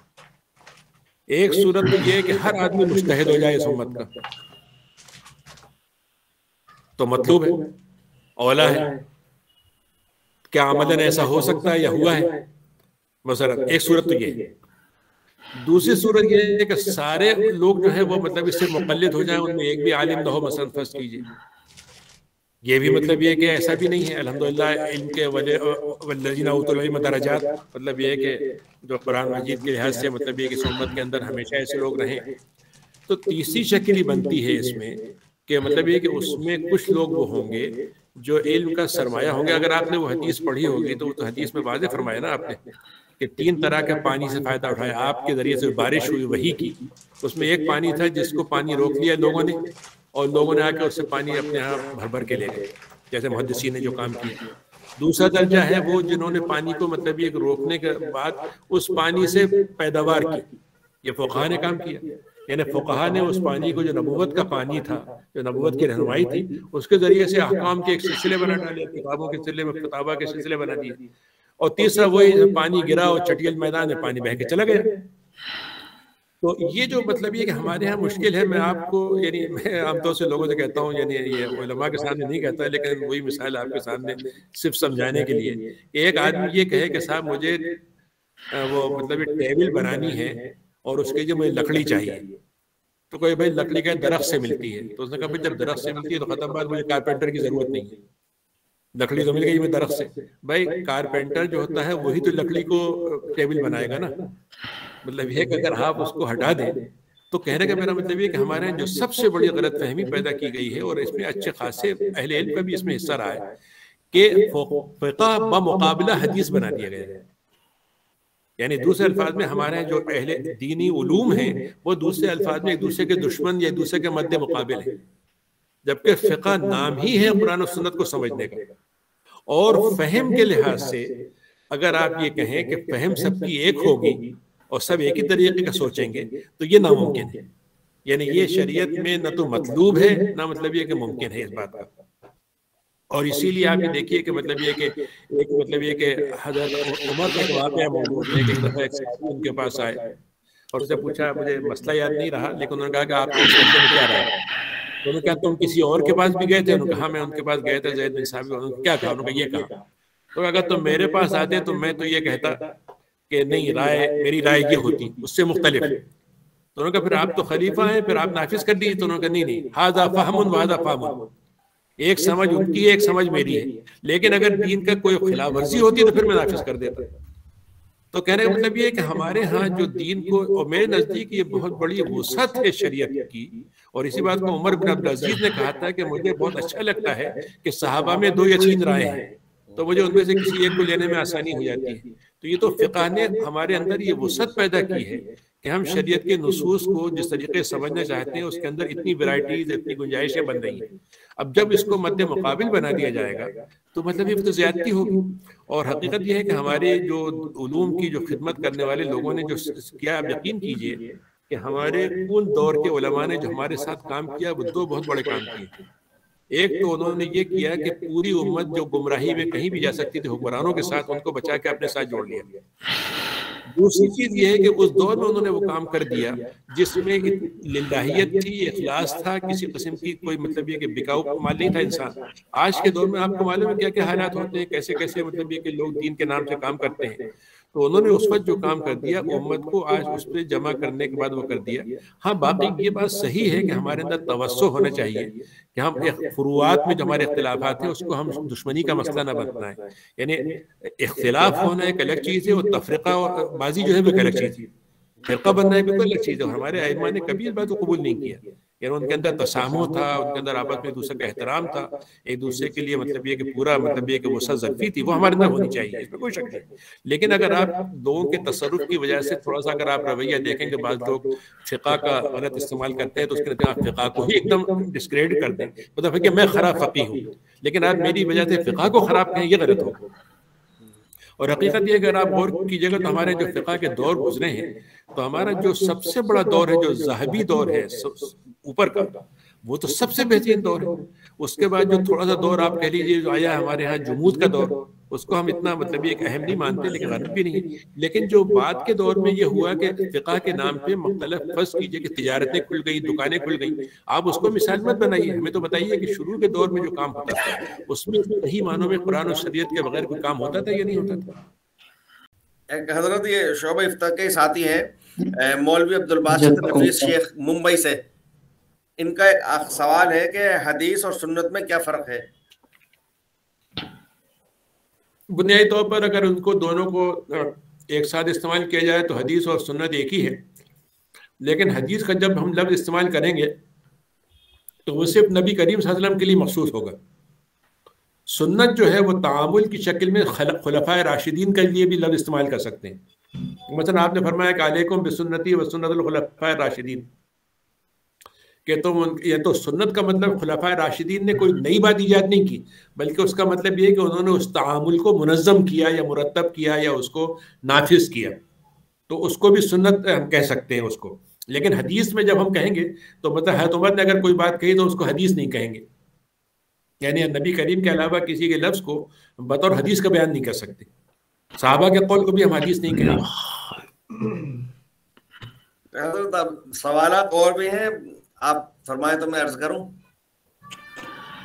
दो तीन सवाल और हैं अगर आप फरमाए तो मैं अर्ज़ करूँ? मेरे ख्याल में कनाडा में रात के बारह बज चुके हैं तो इसी पर इतफा किया जाए तो ज़्यादा बेहतर है। और हमारे हज़रत की तो हिम्मत की बात है कि आधी रात वहाँ गुजर चुकी है और हम लोगों ने कोई इतना इस्तेफादे का मौका दिया यही उनकी नज़र इनायत बहुत बड़ी आ, हम तक हमारे लिए फैज रसानी का ज़रिया है। अल्लाह ताला हज़रत को खैर अता फरमाए और उनकी उनको तूल उम्र सेहत के साथ में अल्लाह अता फरमाए। और मेरी तो बड़ी उम्मीदें जा जाग गई हैं हमारी उम्मीदें जामिया के सिलसिले में कि अल्लाह ताला ने ऐसे इसबाब पैदा फरमाए कि जामिया से हज़रत की वाबस्तगी हो गई और ये हम लोगों के लिए बड़ा खुश आइंद है। जामिया का मैार भी इससे बुलंद होगा। और इंशाल्लाह नहीं राय हम सब लोगों के लिए सोचने के लिए खुलेंगी।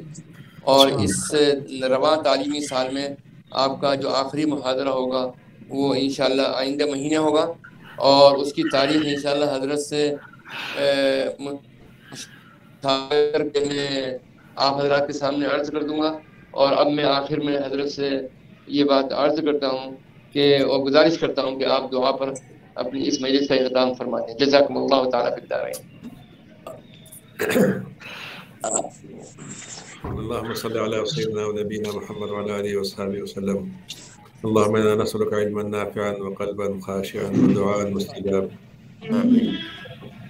अल्लाह हमें दीन का इल्म अता फरमा दीनी बसीरत अता फरमा दीनी फहम अता फरमा और हमें ऐसे ऐसे इल्म से नवाज दे जिसके ज़रिए से हम हमारा किताब सुन्नत से ताल्लुक़ हो किताब सुन्नत के खादिमों से ताल्लुक़ हो किताब सुन्नत की उम्मत के साथ हम इस किताब सुन्नत को फैला सकें उनके अंदर दीन की रहनुमाई के ज़रिए से उनको दीन की तरफ़ वापस ला सकें। ये उम्मत खैर उम्मत बन जाए ये उम्मत अपने तफ़क़ में मुमताज़ हो जाए। दीन दीन के अलम्बरदार बन जाए और दीन के अंदर ऐसे पैदा होते रहें। जिनके अंदर इस्तकामत हो जिनके अंदर इस्तकामत फ़िक्र हो इस्तकामत इल्म हो इस्तकामत खिदमत हो और जो बातिल से की बातिल को वजाहत कर सकें जहालत को दूर कर सकें और जो इनहराफ इस उम्मत में आते हैं उस इनहराफ से उम्मत को बचा सकें। और हमारे लिए उसे वो फैसले अल्लाह ताला आसान फरमा दे जो अच्छे बंदों के लिए अच्छे काम करने वालों के लिए करता है। और हमें उनमें शामिल कर ले तालीन में है अनेक लोग करने वाले हैं। और हमें उनमें बनाते जो उन लोगों में शामिल हों जो ये कहते हो कि रबना सबकूना बिलईमान वला रबना इन्नका रहीम। हमें कुरान ने कहा कि कुल्लमा लानत उख्तहा कि वो एक दूसरे को लानत भेजने वाली उम्मत में हम शामिल न फरमा हम एक दूसरे के लिए मोहब्बत करने वाले मफरत करने वाले एक दूसरे से मोहब्बत करने वालों को बनाने तक ताकि हमारी उम्मत का तसलसल नबी करीम वसल्लम की दावत और सुनत के साथ आज तक वो तसलसल कायम रहे इस उम्मत के ज़रिए से और इस उम्मत के अफराज के ज़रिए से और इस उम्मत के जीत के अलामदारों के ज़रिए से। सुबह और इस मजलिस को आबाद रखें इस मजलिस को आबाद करने वालों को आबाद कोशिशों को मौना के साथियों की कोशिशों को कबूल फरमा। और हमें अल्लाह ने दिया है वो हमारी कोशिश को कबूल फरमा। रब इज़्ज़त अम्मा यसिफून व सलाम मुरसलीन रब्बिल आलमीन। मुझे सबक नहीं थी कि मैं आज इतना इस्तेफादा कर सकूँगा। इसलिए मैं शुरू से आखिर तक मैं अभी ट्रेन के अंदर ही हूँ। और ट्रेन में होने के बावजूद भी जी जी। ट्रेन में होने के बावजूद भी अल्लाह ताला ने बड़ा फजल फरमाया कि नेटवर्क में कोई दिक्कत नहीं आई और पूरा मुहाजरा हमने आपका सुना इंशाल्लाह। ये ये ये ये मौजूदा ज़माने में तलमुस का ये भी तरीक़ा अल्लाह ताला ने अता फरमाया। हम अल्लाह के शुक्रगुजार हैं। अल्लाह ताला हम सबको तोफ़ी अता फरमाए कि ये इस्तेफादे की जिस शक्लें अल्लाह ने निकाली हैं उसको अल्लाह दवा अता फरमा दें हम सब मैं अपनी जानब से भी इस की जानब से भी और तलबा की जानब से भी हमारे खानवादे की जानब से भी आपका शुक्रिया अदा करते हैं। जजाकल्ला अल्लाह ताला सोहबत को बरकरार रखे और आबाद ताबिंदा रखे। आमीन। जजाक जजाक अस्सलाम वालेकुम। वालेकुम। अस्सलाम